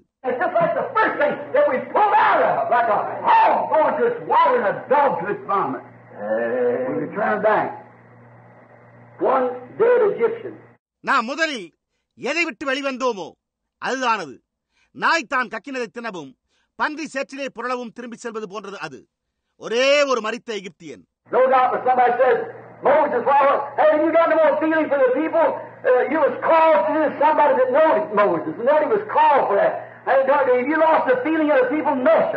யாராகிலும் மோசே பார் ஜனங்களுக்கான உணர்வையே நீ பெற்றிருக்கவில்லையா? நீ இதை செய்ய அழைக்கப்பட்டாய் என்று கூறியிருப்பார் என்பதில் சந்தேகமே இல்லை. மோசேயை அறிந்த யாராவது அதற்கென்று மோசே அழைக்கப்பட்டதை அவர் அறிந்திருப்பார். ஜனங்களின் மேல் கொண்டிருந்த பரிதாபத்தை இழந்து விட்டீர்களா இல்லையா பாருங்கள் பின்ன ஏன் நீங்கள் போய் அதை செய்யக்கூடாது? நீங்கள் ஏன் இதை செய்ய முயற்சிக்கூடாது நீங்கள் ஏன் மற்றவர்களோடு கலந்து கொள்ளக்கூடாது? Until he had an experience at the burning bush that declared the word. I am the God of Abraham, Isaac, and Jacob, and I remember my promise, and I've come down to deliver, and I'm sending you to do it. That was it. மோசே அங்கு எரிகிற முச்செடியின் அனுபவத்தை பெற்று நான் ஆபிரகாமின் தேவனும் ஈசாக்கின் தேவனும் யாக்கோப்பின் தேவனுமாயிருக்கிறேன் என் வாக்குத்தத்தை நினைவு கூறுகிறேன் நான் அவர்களை விடுவிக்க இறங்கி வந்துள்ளேன் அதை செய்ய நான் உன்னை அனுப்புகிறேன் என்னும் அந்த வார்த்தையை அது பிரகடனம் செய்யும் வரைக்கும் அவனிடத்தில் இருந்த மற்றெல்லாம் களையப்பட அதுதானது Uh, uh,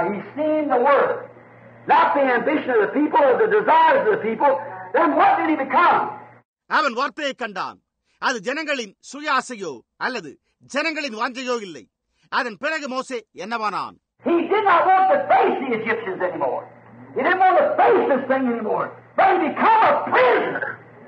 Amen. அவன் எகிப்தியர்களை சந்திக்க விரும்பவில்லை. இந்த காரியத்தை அவன் இனி ஒருபோதும் சந்திக்க விரும்பவில்லை. ஆனால் அவன் ஒரு சிறைவாசியானான். ஆமேன். Forty years of hauling, stripping down, but then he become a prisoner. At the burning bush. The mighty Moses, with all of his intellect, நாற்பது வருடங்களாக அவனிடத்தில் இருந்தவை களையப்பட்டு அதன் பிறகு அவன் எரிகின்ற முச்சடியில் ஒரு சிறைவாசியாகிறான். தன்னுடைய அறிவுத்திறன் யாவற்றோடும் கூட மகத்தான மோசே The Bible saying that Moses was a mighty man in word or in deed down in Egypt. But watch what the mighty theologian did in the presence of the burning bush. He only confessed his inability. எகிப்தில் மோசே வார்த்தையிலும் செய்கையிலும் வல்லவனாய் இருந்தான் என்று வேதம் கூறுகிறது அந்த வல்லமையான வேதசாஸ்திர நிபுணன் எரிகிற முச்சடியின் பிரசனத்தில் என்ன செய்தான் என்று கவனியுங்கள் அவன் தன்னுடைய இயலாமையை மாத்திரமே அறிக்கையிட்டான் When he seen the genuine purpose of God, he confessed that he was inability to do it, yet he was trained in all the theology that they could give him. Amen. Trained in their best school. அவன் தேவனுடைய உண்மையான நோக்கத்தை கண்டபோது அவன் அதை செய்ய இயலாது என்று அறிக்கையிட்டான் இருப்பினும் அவன் தன்னால் பெற முடிந்த வேதசாஸ்திரம் எல்லாவற்றிலும் பயிற்றுவிக்கப்பட்டிருந்தான் அவன் மிகச்சிறந்த பள்ளிகளில் பயிற்சி பெற்றான்.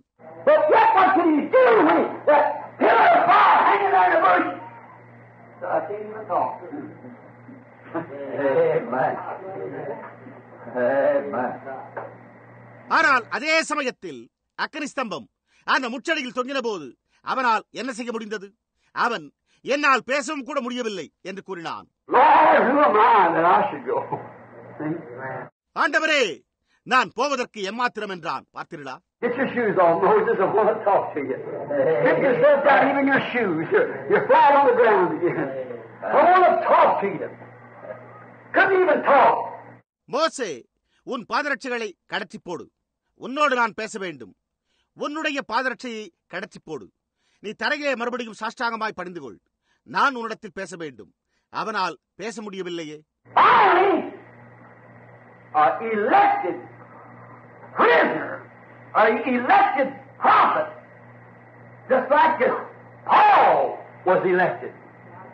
Moses was elected deliverer. And then finally, God had his elected subject a prisoner to him. Oh. முடிவிலே தெரிந்து கொள்ளப்பட்ட ஒரு சிறைவாசியாக தெரிந்து கொள்ளப்பட்ட ஒரு தீர்க்கதரிசியாக அந்த விதமாகவே பவுல் தெரிந்து கொள்ளப்பட்டான். மோசே மீட்கிறவனாக தெரிந்து கொள்ளப்பட்டான். முடிவிலே தேவன் தெரிந்து கொள்ளப்பட்ட தம் பிரஜையை அவருக்கென ஒரு சிறைவாசியாக்குகிறார். ஓ hallelujah He can only move as the Word of God moved him. Amen. Who shall have faced that? Me? I am. தேவனுடைய வார்த்தை அவனை போக சொன்னபோது மாத்திரமே அவன் போனான். என்னை அனுப்பினது யார் என்று சொல்லுவேன்.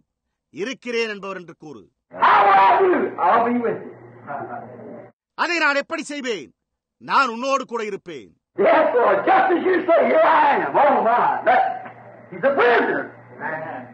சரி ஆண்டவரே நீர் சொன்னபடியே செய்வேன். இதோ நான் இருக்கிறேன். ஓ என்னே அதுதான் அவன் ஒரு an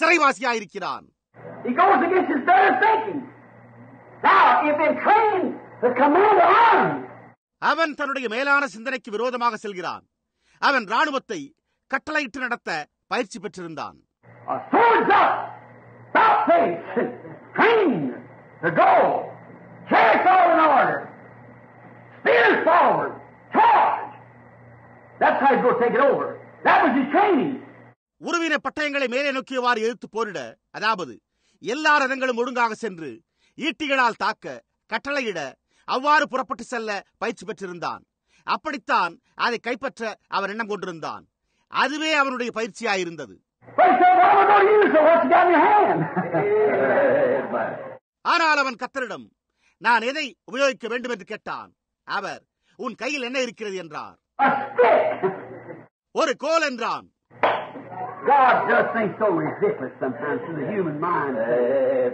சில சமயங்களில் தேவன் மனித அறிவுக்கு கேலித்தனமாய் காணப்படும் காரியங்களை செய்கிறார். புரிகிறதா?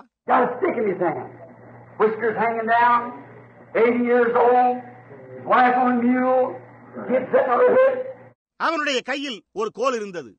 கண்ண மீசையோ தொங்கிக் கொண்டிருந்தது. எண்பது வயது வயோதிகன். தன் மனைவியை கருதியின் மேல் ஏற்ற அவளோ குழந்தையை அவளுடைய இடுப்பில் வைத்துக் கொண்டாள்.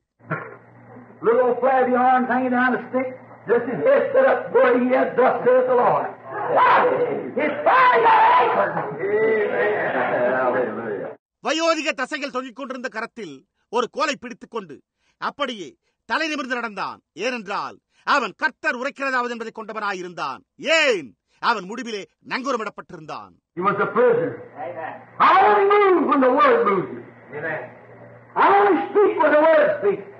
அவன் ஒரு சிறைவாசியாயிருந்தான் வார்த்தை போக சொல்லும் போது மாத்திரமே நான் செல்வேன் வார்த்தை பேசும்போது மாத்திரமே நான் பேசுவேன்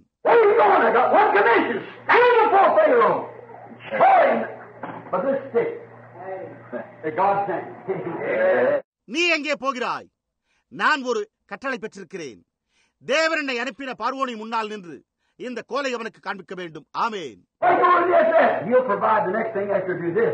இதன் பிறகு நீ என்ன செய்ய போகிறாய் நான் இதை செய்த பிறகு அவர் எடுத்த காரியத்தை அருளுவார். You've only got one thing to do the first step, right? Surrender. Become a prisoner. Don't think of yourself or something else. Become a prisoner.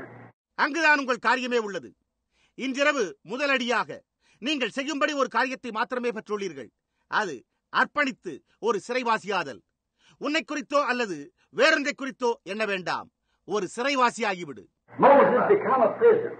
Confess he couldn't even talk. மோசே ஒரு சிறைவாசியானான் அவனால் பேசக்கூட முடியவில்லை என்று அறிக்கை செய்தான் He could only move God moved முடிவில் தேவன் அவனை தமது கரங்களில் கொண்டார் தேவன் போக சொன்னால் மாத்திரமே அவனால் போக முடிந்தது He told him the word. and He knew it was the word. Then he submitted himself to the word, and the Holy Spirit there, God, harnessed Moses to the will of God. அவர் வார்த்தை அவனிடம் கூறினார் அது வார்த்தை என்று அவன் அறிந்து கொண்டான் அப்பொழுது அவன் தன்னை வார்த்தைக்கு ஒப்புக் கொடுத்தான் பரிசுத்த ஆவியானவர் அங்கே மோசேயை தேவனுடைய சித்தத்துக்கு சேணம் பூட்டினார் Eh.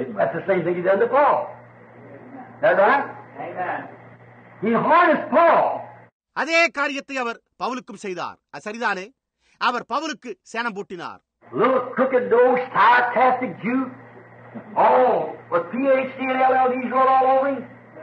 But he said, I'm going to show him what he's going to suffer for the word's sake. சிறிய கோணலான மூக்கு கொண்ட கிண்டலான யூதன் ஓ அவன் தத்துவ மற்றும் எல்லா பாண்டித்ய பட்டங்களையும் பெற்றிருந்தான் ஆனால் அவர் அவன் வார்த்தை நிமித்தமாக எவ்வளவாய் பாடுபட வேண்டும் என்பதை நான் அவனுக்கு காண்பிப்பேன் என்றார் பார்த்தீர்களா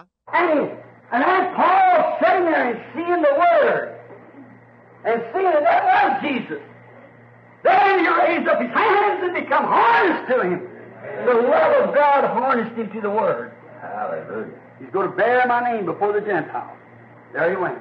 பவுல் அங்கு உட்கார்ந்து கொண்டு வார்த்தையைக் கண்டு அது இயேசுவென்று அறிந்து கொண்டான் அவன் தன் கரங்களை உயர்த்தி அவருக்கு சேனம் பூட்டப்பட்டவனானான் தேவனுடைய அன்பு அவனை வார்த்தைக்கு சேனம் பூட்டிவிட்டது அவன் புறஜாதிகளுக்கு முன்பாக நாமத்தை அறிவிப்பான் அவன் புறப்பட்டு சென்றான் Moses, I am the God of your fathers.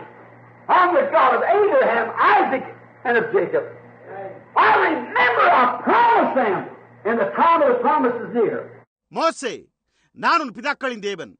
நான் ஆபிரகாமின் தேவனும் ஈசாக்கின் தேவனும் யாக்கோப்பின் தேவனுமாயிருக்கிறேன். நான் அவர்களுக்கு வாக்களித்தேன் என்பதை நினைவு கூறுகிறேன். வாக்குத்தத்தத்தின் நேரம் வந்துவிட்டது.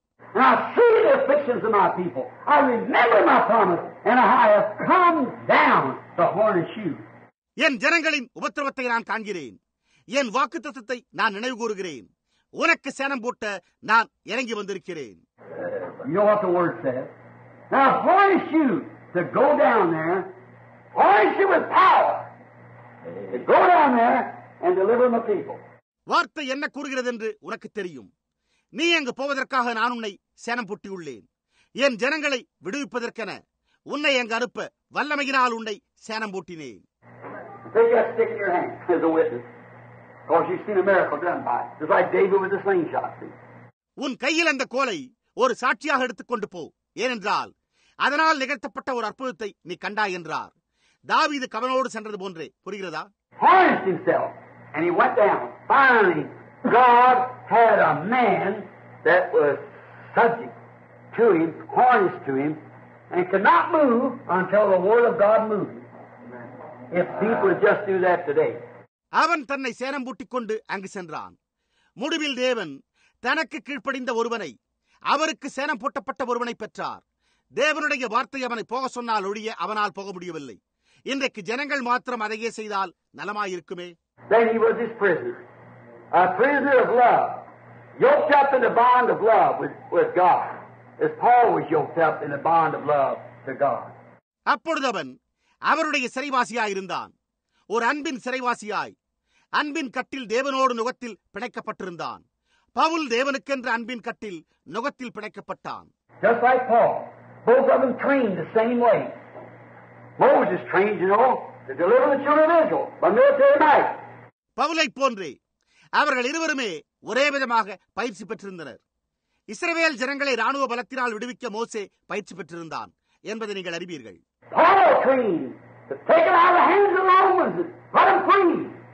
By great ecclesiastical force in the world that day. Great schools of training come up under dominion.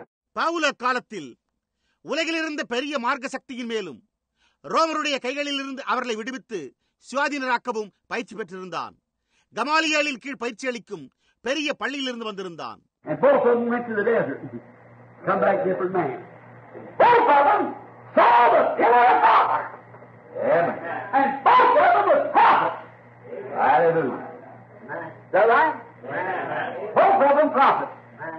இருவரும் வனாந்தரத்துக்கு சென்று வித்தியாசமான மனிதர்களாய் திரும்பி வந்தனர். இருவரும் அக்னி ஸ்தம்பத்தை கண்டனர். இருவரும் தீர்க்கதரிசிகள். அது சரியா? இருவரும் தீர்க்கதரிசிகள்.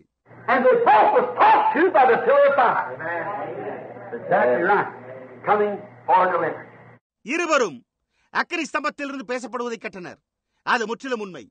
இருவரும் விடுவிப்பதற்கென தோன்றினார்கள் There they was, went to the desert, left their homes and went to the desert to find out, left their peoples and everything to find the will of God.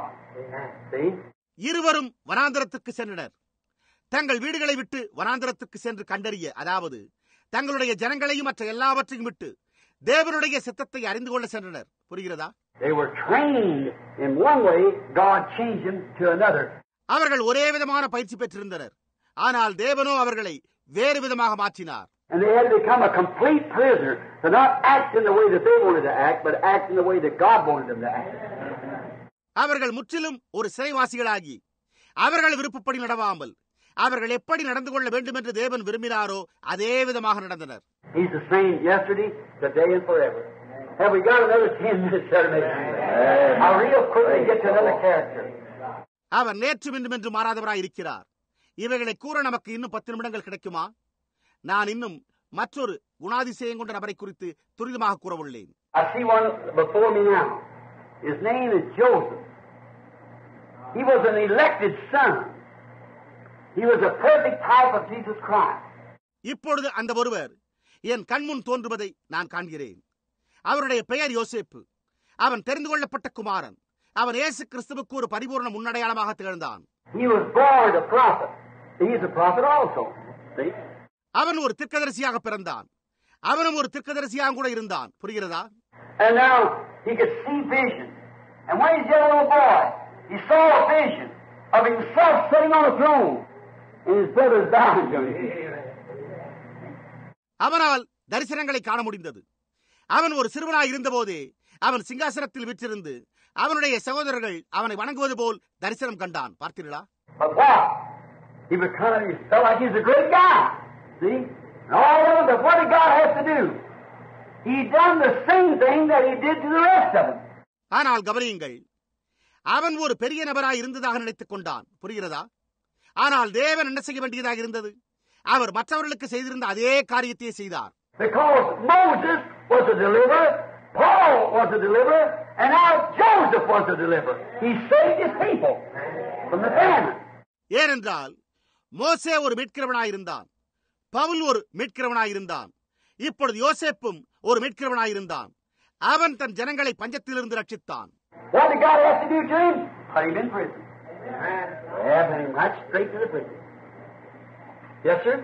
தேவன் அவனுக்கு என்ன செய்ய வேண்டியதாக இருந்தது அவனை சிறையில் அடைக்க வேண்டியதாக இருந்தது நேராக சிறையில் அவனை வைத்தார் ஆமையா Remember, he was sold by his brother to an Egyptian, and they sold him to Potiphar. அவன் தன் சகோதரர்களால் ஒரு எகிப்தியருக்கு விற்கப்பட்டான் என்பது நினைவிருக்கட்டும். அவர்கள் அவனை போத்திபாருக்கு விற்றனர்.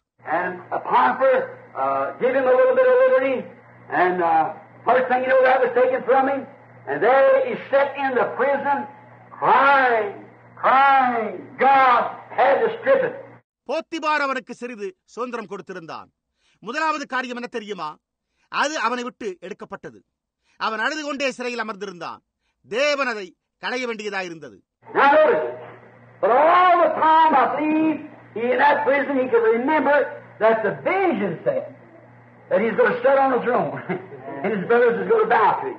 because he knew that his gift come from God, and he knew that it was had to come to pass.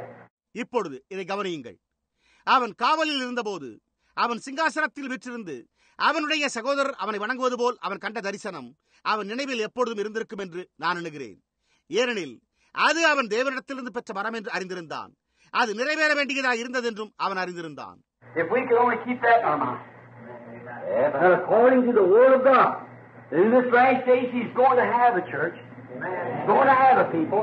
And these things that He promised, He's going to do them. நாம் அதை நம்முடைய சிந்தையில் கொண்டவர்களாக மாத்திரம் இருந்தால் அதாவது தேவனுடைய வார்த்தையின்படி இந்த கடைசி நாட்களில் அவர் ஒரு சபையை பெற்றுக்கொள்ளப் போகிறார் என்றும் அவர் ஒரு கூட்ட ஜனங்களை பெற்றுக்கொள்ளப் போகிறார் என்றும் அறிந்து கொண்டால் நலமாயிருக்குமே. இந்த காரியங்களை அவர் வாக்கு பண்ணினபடியால் அவர் அவைகளை நிறைவேற்றப் போகிறார்.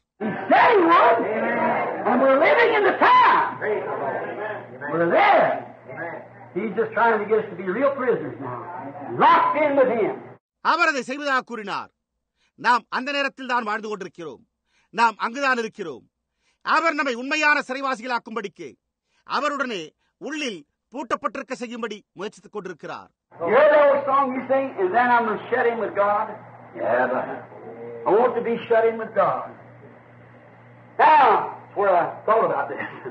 நான் தேவனுடன் அடைக்கப்பட்டிருக்கிறேனா என்று நீங்கள் பாடும் அந்த பழைய பாடலை நீங்கள் கேட்டிருக்கிறீர்கள் நான் தேவனுடன் உள்ளே அடைக்கப்பட விரும்புகிறேன் இதை குறித்தே நான் சிந்தித்தேன் Being shut in with God. Nothing else. You, you only move when God says move. You only do as God says do. தேவனுடன் உள்ளே அடைக்கப்பட்டிருத்தல் வேறொன்றும் செய்ய முடியாது தேவன் போக சொல்லுகிற போது மாத்திரமே நீங்கள் போக முடியும் தேவன் செய்ய சொல்லுகிறதை மாத்திரமே நீங்கள் செய்ய முடியும் பாருங்கள் அப்பொழுது நீங்கள் தேவனுடன் உள்ளே அடைக்கப்பட்டிருக்கிறீர்கள் Now remember, he was thinking. He also became a total failure to himself. All that he knew, all that he understood and everything, he became a total failure. It didn't work. இப்பொழுது நினைவிருக்கட்டும். அவன் சிந்தித்துக் கொண்டிருந்தான். அவன்தானே முற்றிலும் ஒரு தோல்வியடைந்தவனாகிவிட்டான். அவன் அறிந்திருந்த அனைத்தும் அவனுக்கு புரிந்த அனைத்தும் ஒவ்வொன்றும் அவன் முழு தோல்வியடைந்தவனானான். அது கிரியை செய்யவில்லை.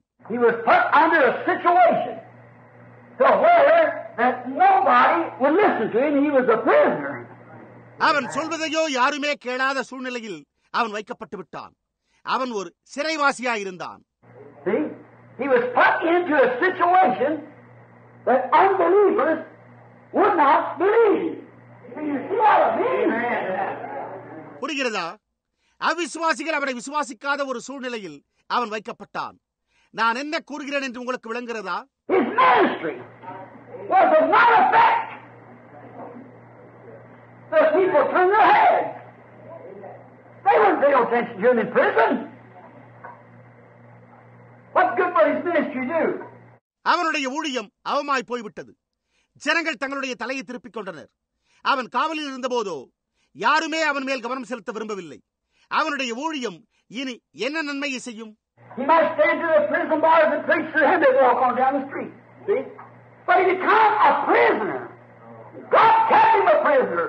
until the wheel got rolled up. Amen. Hallelujah. சிறை கம்பிகளின் பின்னால் நின்று கொண்டு அவன் பிரசங்கம் செய்திருக்க கூடும் அவர்களோ கேளாமல் அங்கிருந்து நடந்து சென்றிருப்பார்கள். பாருங்கள். ஆயினும் அவன் ஒரு சிறைவாசியாகி விட்டிருந்தான். சரியான நேரம் வரும் வரைக்கும் தேவன் அவனை ஒரு சிறையில் வைத்திருந்தார். இதோ என்னுடைய மனிதன் இருக்கிறான் என்றார். மகிமை முழு தோல்வி.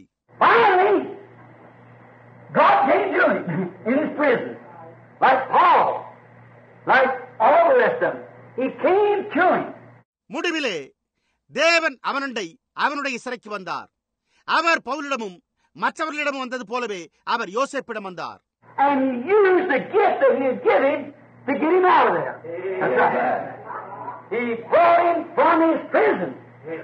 அவனை அங்கிருந்து வெளியே கொண்டு வர அவர் அவனுக்கு அளித்திருந்த வரத்தை உபயோகித்தார் அது உண்மை அவர் அவனை சிறையிலிருந்து வெளியே கொண்டு வந்தார் What did he do? As soon as he brought him from his uh, prison, he was given power Amen. by the king, his king, that he sat on the side of, that he was under. அவன் என்ன செய்தான் அவர் அவனை சிறையிலிருந்து வெளியே கொண்டு வந்தவுடனே அவனுக்கு ராஜாவினால் தன்னுடைய ராஜாவினால் அதிகாரம் அளிக்கப்பட்டது யாருக்கு கீழ் அடங்கியிருந்தானோ அவருக்கு பக்கத்திலே உட்கார்ந்தான் He was brought from the prison house and given power to whatever he said had to happen. Amen. Amen. அவன் சிறையிலிருந்து வெளியே கொண்டு வரப்பட்டு அவன் சொன்னதெல்லாம் நிறைவேற்றத்தக்கதாக அவனுக்கு அதிகாரம் அளிக்கப்பட்டது ஆமேன்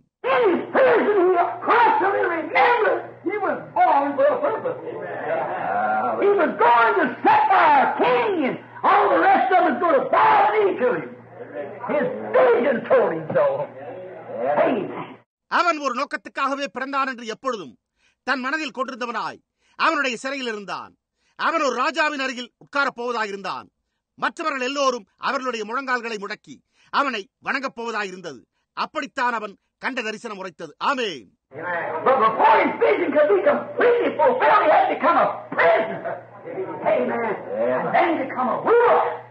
ஆனால் அவனுடைய தரிசனம் முழுவதுமாக நிறைவேறுவதற்கு முன்பு அவன் ஒரு சிறைவாசியாய் இருக்க வேண்டியதாக இருந்தது. ஆமே அதன் பிறகு அவன் ஆளுகை செய்பவனானான். And when he come from his prison house and become a prisoner of the Word of God, that he can only say what God put in his mouth to say, then God moved through. அவன் தன்னுடைய சிறை விட்டு வெளியே வந்து தேவனுடைய வார்த்தைக்கு ஒரு சிறைவாசியாகி தேவன் அவன் வாயில் கூறும்படி போடுகிறதை மாத்திரமே அவனால் கூற முடிந்தது அப்பொழுது தேவன் அவன் மூலம் அசைவாடினார் Moses had power to bind Pharaoh's princes at his own will. Yes. If you say to this mountain, be moved. Hallelujah. He had power to bind Pharaoh's princes. கவனியுங்கள் பார்வோனின் இளவரசர்களை தன் விருப்பப்படி கட்ட மோசேக்கு அதிகாரம் இருந்தது நீங்கள் இந்த மலையை பார்த்து பெயர்ந்து போய் என்று சொல்ல பார்வோனின் இளவரசர்களை கட்ட அவனுக்கு அதிகாரம் இருந்தது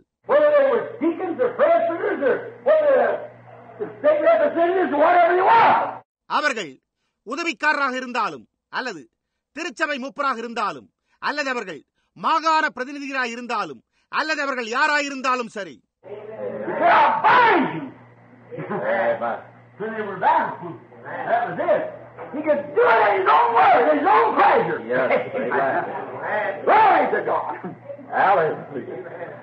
அவன் நான் உங்களை கட்டுகிறேன் என்று சொல்லும்போது அவர்களோ கட்டப்பட்டனர். அவ்வளவுதான். அவன் தன் சொந்த வார்த்தையை உரைத்து தன் சித்தப்படி அது செய்ய முடிந்தது. ஆமென். தேவனுக்கு மகிமை. Oh, I just got about three more minutes so I keep my word.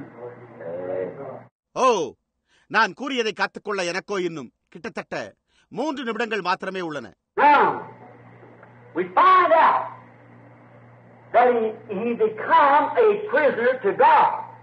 From a prisoner to the world, from Paul the same way, and Moses the same way, from a prisoner to his own thinking, to a prisoner to God. அவன் உலகத்திற்கு ஒரு சிறைவாசியா இருப்பதிலிருந்து தேவனுக்கு ஒரு சிறைவாசியானான் என்று நாம் கண்டறிகிறோம் பவுலுக்கும் அதே விதமாக சம்பவித்தது மோசேக்கும் அதே விதமாக சம்பவித்தது தன் சொந்த கருத்துக்கு ஒரு சிறைவாசியா இருப்பதிலிருந்து தேவனுக்கு ஒரு சிறைவாசியாதல் And when he come out, he had the power of God. And when he become Paul, when the old thinking of Moses, he was surrendered it and stripped of it, he become a prisoner to Christ's word, could only move wherever. யோசேப்பு வெளியே வந்தபோது அவன் தேவனுடைய வல்லமையை பெற்றிருந்தான். சவுல் பவுலான போது மோசேயின் சொந்த கருத்து அதாவது அவனதை தேவனிடம் சமர்ப்பித்து அது அவனை விட்டு களையப்பட்டது. அவன் கிறிஸ்துவனுடைய வார்த்தைக்கு ஒரு சிறைவாசியானான். எங்கெல்லாம் போக மாத்திரம் முடியுமோ You say Christ, he esteemed the reproach of Christ greater treasures than that of Egypt. So he was a prisoner of Christ just like Paul was.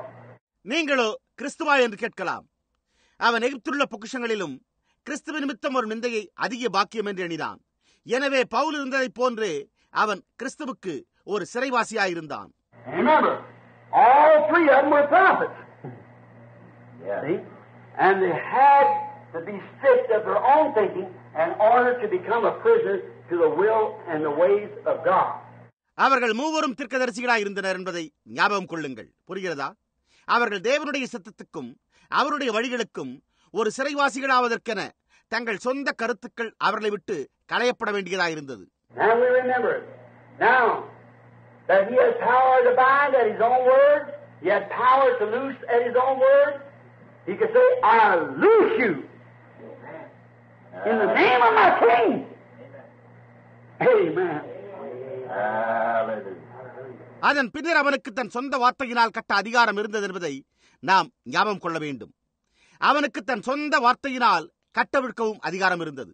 அவன் என் ராஜாவின் நாமத்திலே நான் உன்னை கட்டவிழ்க்கிறேன் என்று கூறியிருக்க முடியும். ஆமேன்.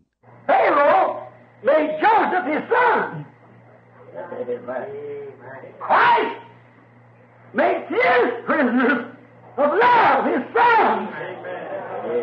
And he gives them power. The same thing here. பார்வோன் யோசேப்பை தன் குமாரனாக்கிக் கொண்டான் கிறிஸ்துவும் அன்பின் சிறைவாசிகளை தமது குமாரராக்கி தம்முடையவர்களாக்கிக் கொண்டார் அவருக்கு இருந்த அதே வல்லமையை அவர் அவர்களுக்கு அளிக்கிறார் St. John 14, 12. He that believeth on me, the, the works that I do shall he do also. Even more than this shall he do. பரிசுத்த யோவான் பதினான்கு பனிரெண்டில் என்னை விசுவாசிக்கிறவன் நான் செய்கிற கிரியைகளை தானும் செய்வான். இவைகளை பார்க்கிலும் அதிக கிரியைகளை செய்வான் என்று கூறப்பட்டுள்ளது. பாருங்கள். Now, the prisoner of the love of Christ becomes empowered by his king, who is Christ. Amen. கிறிஸ்துவின் அன்பினால் சிறைவாசியானவனுக்கு தன்னுடைய ராஜாவாகிய கிறிஸ்துவினால் அதிகாரம் அளிக்கப்படுகிறது. ஆமேன். And verily I say unto you, if you say to this mountain, be moved, and don't doubt in your heart, but believe that what you said will come to pass, you'll have what you said. Amen. எவனாகிலும் இந்த மலையை பார்த்து நீ பெயர்ந்து சமுத்திரத்திலே தள்ளுண்டு போய் என்று சொல்லி தான் சொன்னபடியே நடக்கும் என்று தன் இருதயத்தில் சந்தேகப்படாமல் சுவாசித்தால் அவன் சொன்னபடியே ஆகும் என்று மெய்யாகவே உங்களுக்கு சொல்லுகிறேன் to. நீங்கள் என்னிலும் என் வார்த்தைகள் உங்களிலும் நிலைத்திருந்தால் நீங்கள் என்னுடன் நுகத்தில் பிணைக்கப்பட்டிருந்தால் ஏனெனில் அவரும் அவருடைய வார்த்தையும் ஒன்றே. In the beginning was the word, and the word was with God, and the word was made flesh and dwelt among us. Same yesterday and forever. ஆதியிலே வார்த்தை இருந்தது. அந்த வார்த்தை தேவனிடத்தில் இருந்தது. அந்த வார்த்தை தேவனாயிருந்தது. அந்த வார்த்தை மாம்சமாகி நமக்குள்ளே வாசம் பண்ணினார் அவர் நேற்றும் இன்றும் என்று மாறாதவராயிருக்கிறார். If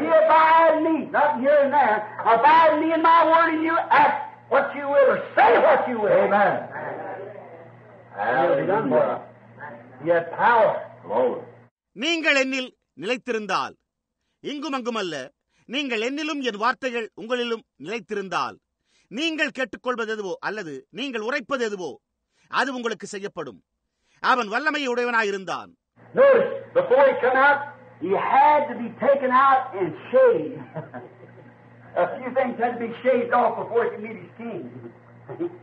கவனியுங்கள் யோசேப்பு சிறையை விட்டு வெளியே வருவதற்கு முன்பு அவன் வெளியே அழைத்து செல்லப்பட்டு சவரம் பண்ணப்பட வேண்டியவனாயிருந்தான் oh, God sometimes takes his people out like that and shaves a few of their own wills off.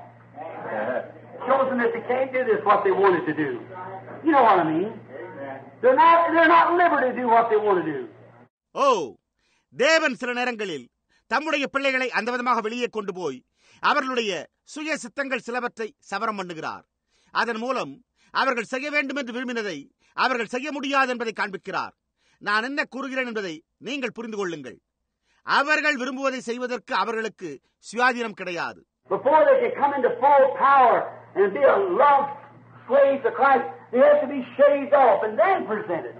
அவர்கள் முழு அதிகாரத்துக்குள் வந்து கிறிஸ்துவின் அன்பின் அடிமைகளாவதற்கு முன்பு அவர்கள் சவரம் பண்ணப்பட்டு அவர் முன்னிலையில் நிறுத்தப்பட வேண்டும். Sometimes he takes them to the deserts to do that.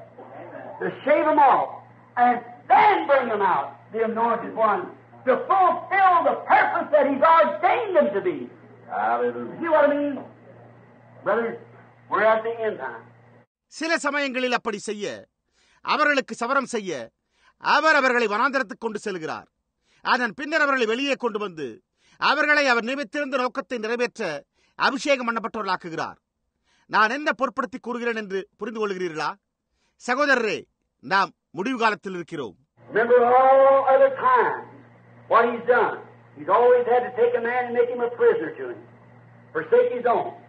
மற்ற எல்லா காலங்களிலும் அவர் என்ன செய்திருக்கிறார் என்பதை நினைவில் கொள்ளுங்கள். அவர் எப்பொழுதுமே ஒரு மனிதனை தெரிந்து கொண்டு அவனை தமக்கு ஒரு சிறைவாசியாக்கும்படி செய்ய அவன் தனக்கு சொந்தமான எல்லாவற்றையும் கைவிட வேண்டியதாய் உள்ளது. He forget all his trainings and everything in order to know the will of God and to follow God. அவன் தேவனுடைய சித்தத்தை முறைப்படி அறிந்து தேவனை பின்பற்ற அவன் அறிந்த எல்லாவற்றையும் தான் பெற்றிருந்த பயிற்சி அனைத்தும் மறந்து கைவிட்டுவிட வேண்டியதாய் இருந்தது He can't follow anything that man's got to do and God at the same time. It's too contrary one to another.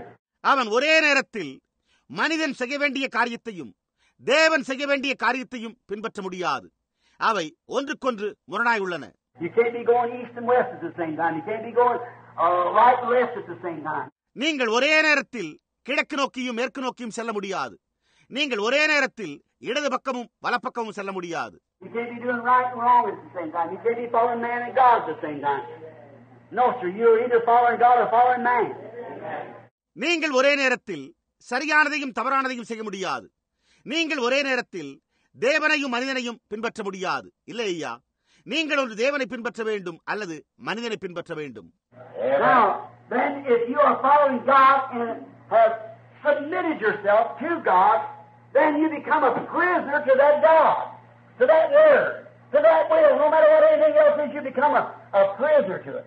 ஆகையால் இப்பொழுது நீங்கள் தேவனை பின்பற்ற தேவனுக்கு உங்களை ஒப்புவித்திருந்தால் அப்பொழுது நீங்கள் அந்த தேவனுக்கு அந்த வார்த்தைக்கு அந்த சித்தத்துக்கு ஒரு சிறைவாசியாகி விடுகிறீர்கள் யார் என்ன கூறின போதிலும் கவலைப்படாமல் நீங்கள் அதற்கு ஒரு சிறைவாசியாகி விடுகிறீர்கள். Listen, we're at the end time. And I would say this with reverence and respect as the last couple of minutes is floating by. கவனியுங்கள். நாம் முடிவு காலத்தில் இருக்கிறோம். விரைந்தோடிக் கொண்டிருக்கும் இந்த நேரத்தின் கடைசி இரண்டு நிமிடங்களுக்கு முன்பு நான் இதை பயபக்தியுடனும் மரியாதையுடனும் கூற விரும்புகிறேன். What God, to my opinion, will do and must do and will do in this last day is to find a tool for the harvest. He's got to find a tool to thresh the floor. பாருங்கள் இந்த கடைசி நாட்களில் தேவன் செய்யப்போவதும் அவசியம் செய்ய வேண்டியதும் என்னவெனில் அறுப்புக்காக அவர் ஒரு கருவியை தெரிந்து கொள்ள வேண்டும் என்பதே என் கருத்தாகும் அவர் களத்தை போரடிக்க ஒரு கருவியை தெரிந்து கொள்ள வேண்டும் Any farmer, when he goes to his harvest, he has to have a tool to do it with. So, he's got to have a sharp sickle or something, some instrument to thrash out the grain. And the harvest is ripe. அறுப்புக்காக செல்லும் எந்த விவசாயியும் அதை செய்ய ஒரு கருவியை அவனுடையனாயிருக்க வேண்டும் நிச்சயமாக தானியத்தை அடித்து பிரிக்க ஒரு கூர்மையான அறிவாள் அல்லது ஏதோ ஒன்று ஒரு கருவியை அவனுடையனாயிருக்க வேண்டும் அறுப்புக்கு விளைந்து ஆயத்தமாயுள்ளது God, take us in your hand. Make us bond servants of your love. And use us for tools to bring the realization to this sinful, cursed earth that we're living in today that Jesus Christ is the same yesterday, today, and forever. தேவனே உமது கரங்களில் எங்களை எடுத்துக்கொள்ளும் உமது அன்பின் ஊழியக்காரராக எங்களை ஆக்கிக் கொள்ளும் நாங்கள் இன்று வாழ்ந்து கொண்டிருக்கும் இந்த பாவமுள்ள சபிக்கப்பட்ட உலகத்துக்கு இயேசு கிறிஸ்து நேற்றும் இன்றும் என்று மாறாதவராய் இருக்கிறார் என்னும் மெய்யான உணர்வை கொண்டு வர எங்களை கருவிகளாக உபயோகித்தருளும் For myself, God, let me be a prisoner. If all my brethren turn me down, if all my friends turn me down, I want to be a prisoner of Jesus Christ and His Word. என்னை பொறுத்தவரையில் தேவனே நான் ஒரு சிறைவாசியாக இருக்கட்டும் என் சகோதரர் அனைவரும் என்னை புறக்கணித்தாலும் என் நண்பர் அனைவரும் என்னை புறக்கணித்தாலும் நான் இயேசு கிறிஸ்துவுக்கும் அவருடைய வார்த்தைக்கும் ஒரு சிறைவாசியாகவே இருக்க விரும்புகிறேன் that I might be harnessed to His Word by the Holy Spirit to see the Holy Spirit make the Word of God be confirmed by the same things that He said would be done. I want to be a prisoner of Jesus Christ. Let us pray. நான் பரிசுத்த ஆவியினால் அவருடைய வார்த்தைக்கு சேனம் போட்டப்பட்டு அவர் என்னென்ன நடக்கும் என்று உரைத்திருக்கிறாரோ அதே காரியங்கள் மூலம் பரிசுத்த ஆவியானவர் தாமே தேவனுடைய வார்த்தையை உறுதிப்படுத்துவதை காண வாஞ்சிக்கிறேன் நான் ஏசு கிறிஸ்துவுக்கு ஒரு சிறைவாசியாக இருக்க விரும்புகிறேன் நாம் ஜெபம் செய்வோமாக I wonder tonight with our heads bowed if that ambition that we have of being something else, or maybe of, of something that we might think be a selfish thing, wonder if we couldn't just kind of lay that aside. நாம் நம்முடைய தலைகளை வணங்கியிருப்பதோடு நாம் கொண்டுள்ள அந்த பேராசையை ஏதோ ஒன்றாக இருக்க வேண்டும் அல்லது ஏதோ ஒன்றாக இருக்கலாம் என நாம் சிந்திப்பதை ஒரு சுயநல காரியத்தை இவைகளை நாம் ஒருபுறம் தள்ளி வைக்க முடியாதா என்று இன்றிரவு நான் எதிர்பார்க்கிறேன் if some young boy here tonight look around and say, I'm going to be, uh, when I get big, I'm going to be a certain, certain thing. இன்றிரவு இங்குள்ள யாரோ ஒரு சிறு பையன் சுற்றுமுற்றும் பார்த்து நான் பெரியவனாகும் போது நான் இப்படி இப்படி இருக்கப் போகிறேன் நான் அவ்வாறு இருக்கப் போகிறேன் என்று கூறுவானோ என்று நான் ஐயமுறுகிறேன்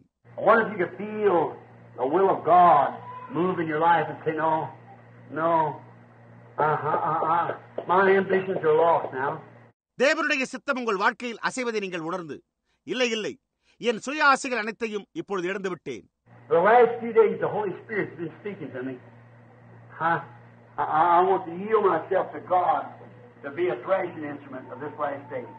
கடந்த சில நாட்களாக பரிசுத்தாவி என்னுடன் பேசிக் கொண்டு வருகிறார். இந்த கடைசி காலத்தில் தேவனுடைய போரடிக்கும் கருவியாக இருக்க நான் என்னையே அவருக்கு ஒப்புக் கொடுக்க விரும்புகிறேன் என்று கூற முடியுமா என்று எதிர்பார்க்கிறேன்.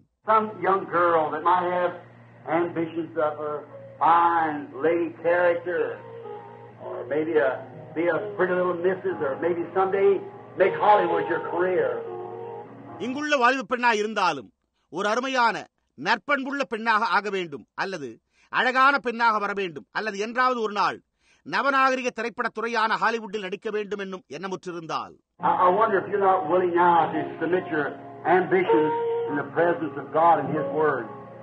And hear the call of God in your own life. God knows who you are. உங்கள் சுய ஆசைகள் அனைத்தையும் தேவனுடைய சமூகத்திலும் அவருடைய வார்த்தையின் சமூகத்திலும் ஒப்புக் கொடுக்க விருப்பமில்லாமல் இருந்தால் தேவனுடைய அழைப்பிற்கு உங்கள் வாழ்க்கையில் செவி கொடுப்பீர்களா என்று எதிர்பார்க்கிறேன் நீங்கள் யார் என்பதை தேவன் அறிவார் I wonder if there'd be a minister close or a servant or worker somewhere in church. I just get in here once in a while. I, I don't know one third of the people sitting here tonight. But I, just a little handful that's here. நான் எதிர்பார்ப்பதோ இங்கு சபையில் எங்காகிலும் ஒரு போதகரோ அல்லது ஊழியக்காரரோ ஒரு பணியாளோ எங்கோ இருக்க நேர்ந்தால் நான் எப்பொழுதாவது ஒரு முறை இங்கு வருகிறேன் இன்றிரவு இங்கு அமர்ந்திருப்பவர்களில் மூன்றில் ஒரு பகுதியினரை கூட எனக்கு தெரியாது ஆனால் நான் ஒரு சிலரை மாத்திரமே அறிவேன் I wonder if there be such a person that you'd be willing to say, I don't care what anyone says. I'm God's slave now. I, I, I'm going to preach His word, regardless. I don't care what my, my organization turns me out. I'm still going to stay at that word. I, I'm going to do it. அப்படிப்பட்ட நபர் யாராவது இங்கு இருக்க நேர்ந்து யார் என்ன கூறினாலும் எனக்கு கவலை இல்லை நான் இப்பொழுது தேவனுக்கு அடிமை என்ன நேரிட்டாலும் நான் தேவனுடைய வார்த்தையை மாத்திரமே பிரசங்கிக்கப் போகிறேன் என் ஸ்தாபனம் என்னை வெளியே அனுப்பினாலும் எனக்கு கவலை இல்லை நான் வார்த்தையில் நிலைத்திருக்கப் போகிறேன் நான் அதையே செய்யப் போகிறேன் Our will is God's will. God's will is my will. I'm going to be a prisoner of Jesus Christ by His grace and help. I'll do it. Think of it while we have our heads down. என் சித்தமே தேவனுடைய சித்தம் தேவனுடைய சித்தமே என் சித்தம் நான் இயேசு கிறிஸ்துவுக்கு ஒரு சிறைவாசியாக இருக்க விரும்புகிறேன் அவருடைய கிருபையினாலும் ஒத்தாசையினாலும் நான் அதை செய்வேன் என்று கூற விரும்புவீர்களா என்று நான் எதிர்பார்க்கிறேன் நாம் நம்முடைய தலைகளை வணங்கியிருக்கையில் அதை குறித்து யோசித்து பாருங்கள் How many's got that ambition tonight? Would you raise your hand? That's mine too. I surrender all. With our heads bowed now, slowly now, as you think it over now, as you pray. இன்றிரவு எத்தனை பேர் அந்த ஆவலை உடையவர்களாக இருக்கிறீர்கள் நீங்கள் உங்களுடைய கரங்களை உயர்த்துங்கள் என் கரத்தையும் கூட உயர்த்துகிறேன் நான் எல்லாவற்றையும் ஒப்புவிக்கிறேன் நமது தலைகள் வணங்கியிருப்பதோடு இப்பொழுது இதை நீங்கள் சிந்தித்து நீங்கள் ஜெபிக்கையில் இப்பொழுது மெல்ல பாடுவோம். நான் எல்லாவற்றையும் ஒப்புவிக்கிறேன். நான் எல்லாவற்றையும் ஒப்புவிக்கிறேன்.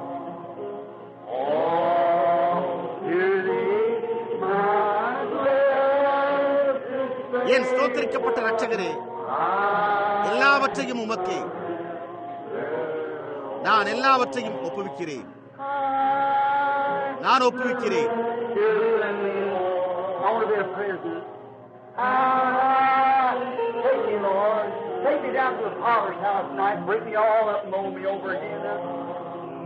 நீங்கள் உண்மையாகவே அதை பொருட்படுத்தி கூறுகிறீர்களா?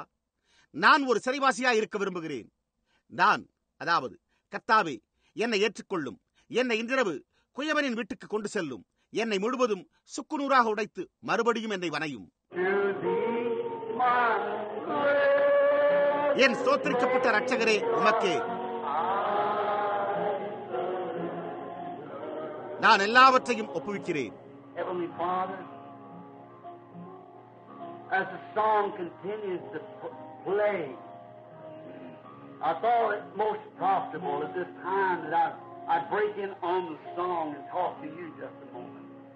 பரலோக பிதாவே பாடல் தொடர்ந்து வாசிக்கப்படுகையில் நான் பாடலை பாடுவதை நிறுத்திவிட்டு உம்மிடம் சற்று நேரம் பேசுவது மிகவும் பிரயோஜனமாய் இருக்கும் என்று நான் எண்ணினேன் As the people are thinking, I surrender all. Father, may we do this with like as this is our last opportunity to do it.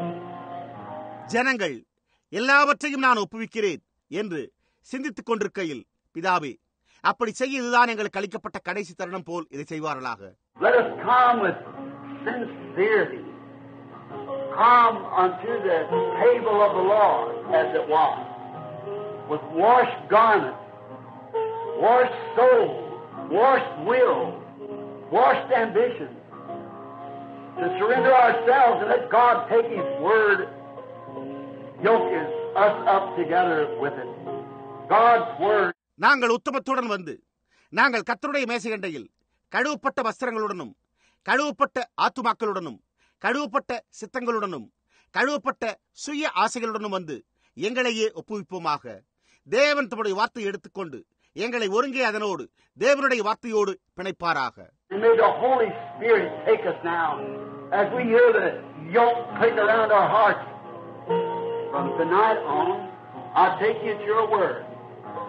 பரிசுத்த ஆவியானவர் எங்களை இப்பொழுது ஏற்றுக்கொள்வாராக. அந்த நுகம் எங்கள் இருதயங்களை சுற்றி இணைக்கப்படுவதை நாங்கள் கேட்டு உணரும் போது இன்றிரவு முதற்கொண்டு நான் உம்முடைய வார்த்தையை ஏற்றுக்கொள்கிறேன்.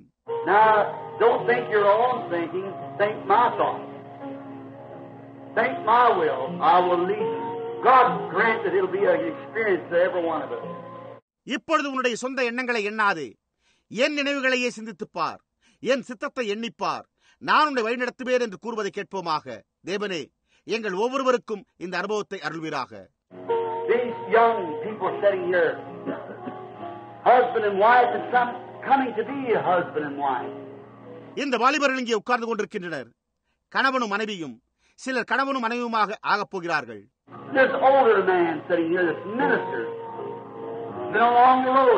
இங்கு வயோதிக மனிதர்கள் பாதைகளூடாக சென்று கொண்டிருக்கிற போதகர்கள் உட்கார்ந்து கொண்டிருக்கிறார்கள்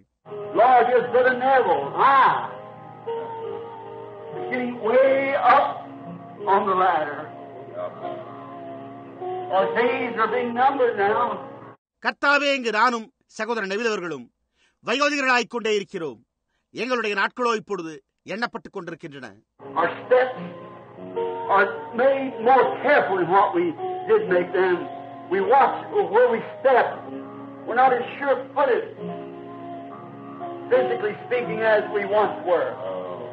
நாங்கள் முன்பு எடுத்து வைத்த அடிகளை விட அதிக ஜாக்கிரதையாகவே எங்களுடைய அடிகள் எடுத்து வைக்கப்படுகின்றன. நாங்கள் எங்கே அடியெடுத்து வைக்கிறோம் என்பதை நாங்களே கவனிக்கிறோம். சரீர பிரகாரமாக பார்க்கும்போது நாங்கள் முன்பு செய்தது போல அவ்வளவு உறுதியாக காலடிகளை எடுத்து வைக்க முடிவதில்லை.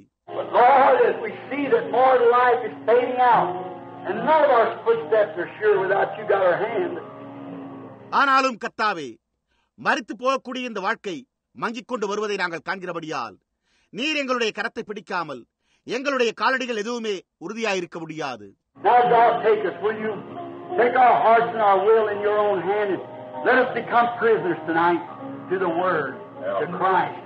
May we live godly lives here. இப்பொழுது தேவனே எங்களை ஏற்றுக்கொள்ளும் அப்படி செய்வீரா எங்கள் இருதயங்களையும் எங்கள் சித்தத்தையும் உமது கரங்களில் எடுத்துக்கொண்டு இன்றிரவு நாங்கள் வார்த்தைக்கும் கிறிஸ்துவுக்கும் சிறைவாசிகளாக மாறும்படி செய்யும் நாங்கள் இங்கு தேவபக்தி உள்ள வாழ்க்கை வாழ்வோமாக these young men, boys and girls, surrender their lives, Lord.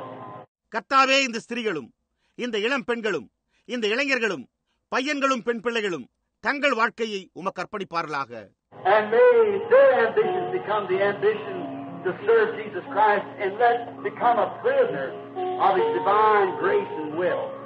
Grant it, Lord. அவர்களுடைய பேராவல் இயேசு கிறிஸ்துவை சேவிக்கும்படியான பேராவலாக மாறுவதாக நாங்கள் அவருடைய தெய்வீக கிருபைக்கும் சித்தத்துக்கும் ஒரு சிறைவாசியாக மாறுவோமாக கர்த்தாவே இதை அருளும்.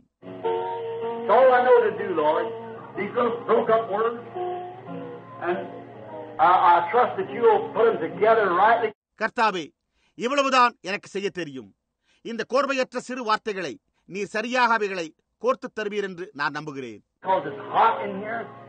And people want to listen, but it's real warm. And many have to go home and go to work early. But may those seeds just lay into their hearts a prisoner. இங்கு உஷ்ணமாய் உள்ளது ஜனங்களோ கேட்க விரும்புகின்றனர் ஆனால் இங்கு உண்மையாக உஷ்ணமாய் உள்ளது அநேகர் வீடு திரும்பி நேரத்தோடு வேலைக்கு செல்ல வேண்டியவர்களாய் இருக்கின்றனர் ஆனால் அந்த விதைகள் அவர்களுடைய இருதயங்களில் பதிந்து அவர்களை ஒரு சிறைவாசியாக்குவதாக go home and say to the wife as they, before they get ready to get down and pray this afternoon or this evening by the bedside, look across to one another and say, Dear, what about that tonight? Have we really become prisoners to Christ and His will, or, or do we work to our own will? அவர்கள் வீடு திரும்பி தங்கள் மனைவியிடம் அவர்கள் பிற்பகல் அல்லது மாலையில் படுக்கையறையில் ஜெபிக்க ஆயத்தமாவதற்கு முன்பு ஒருவரை ஒருவர் பார்த்து அன்பே நேற்றிரவு கேட்ட பிரசங்கத்தை குறித்தென்ன நாம் உண்மையில் கிறிஸ்துவுக்கும் அவருடைய சித்தத்துக்கும் சிறைவாசிகளாகிவிட்டோமா அல்லது நம்முடைய சுய சித்தத்தினூடாக கிரியை செய்கிறோமா என்று கேட்கும்படி செய்யும் They, young men and young women, everywhere, especially those who've heard the message tonight, ask themselves that same question. Am I willing to become a prisoner, forsaking my own life? எங்கும் உள்ள வாலிபர்களும் வாலிப ஸ்திரீகளும் முக்கியமாக இன்றிரவு இந்த செய்தியை கேட்டிருக்கிறவர்கள் என் சொந்த ஜீவனை வெறுத்து நான் ஒரு சிறைவாசியாக சித்தம் கொண்டிருக்கிறேனா என்னும் அதே கேள்வியை தங்களுக்குள்ளாகவே கேட்டுக்கொள்வார்களாக.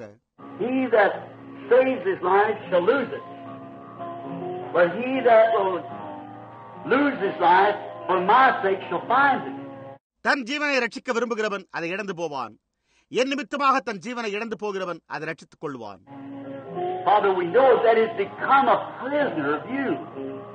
Lose our own ambitions and our own desires to find yours, and we have eternal life.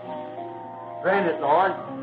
பிதாவே உமக்கு ஒரு சிறைவாசியாக மாறி உம்முடையதை கண்டறிய எங்களுடைய சுய ஆசைகளையும் எங்களுடைய சுய வாஞ்சைகளையும் விட்டுவிட வேண்டும் என்பதை நாங்கள் அறிந்திருக்கிறோம் அப்பொழுதே எங்களுக்கு நித்திய ஜீவன் உண்டாயிருக்கும் கர்த்தாவே இதை அருளும் Only thing I know is to commit it now into your hands, and may it become fruitful and bring forth great, uh, great tools for the last day harvest. நான் அறிந்த ஒரே காரியம் இதை எப்பொழுது உமது கரங்களில் சமர்ப்பிப்பதேயாகும் அது பலனளிக்கும்படியாகி கடைசியால் அறுவடைக்கு மகத்தான கருவிகளை தோன்ற செய்வதாக Man and women, boys and girls surrendered to the complete will of God and become prisoners of Jesus Christ for His love, shackled with fetters of divine love to Christ. We ask it in His name. மனிதரும் ஸ்திரீகளும் பையன்களும் பெண்களும் தேவனுடைய பரிபூர்ண சித்தத்துக்கு தங்களை ஒப்புக் கொடுத்து இயேசு கிறிஸ்துவின் சிறைவாசிகளாகி அவருடைய அன்புக்கும் கிறிஸ்துவுக்கென தெய்வீக அன்பின் சங்கிலிகளினால் விலங்கிடப்பட்டவர்களாவார்களாக நாங்கள் இதை அவருடைய நாமத்தில் வேண்டிக் கொள்கிறோம்.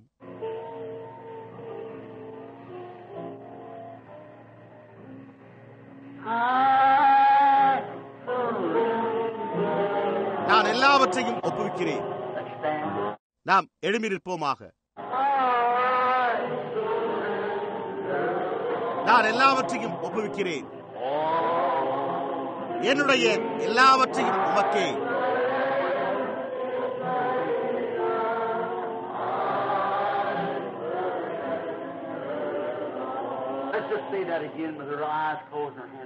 நாம் கண்களை மூடியிருப்பதோடு நம்முடைய கரங்களை உயர்த்தி நாம் அதை மறுபடியும் அப்படியே கூறுவோமாக.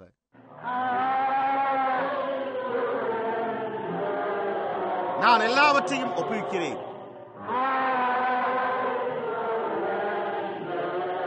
நான் எல்லாவற்றையும் ஒப்புவிக்கிறேன்.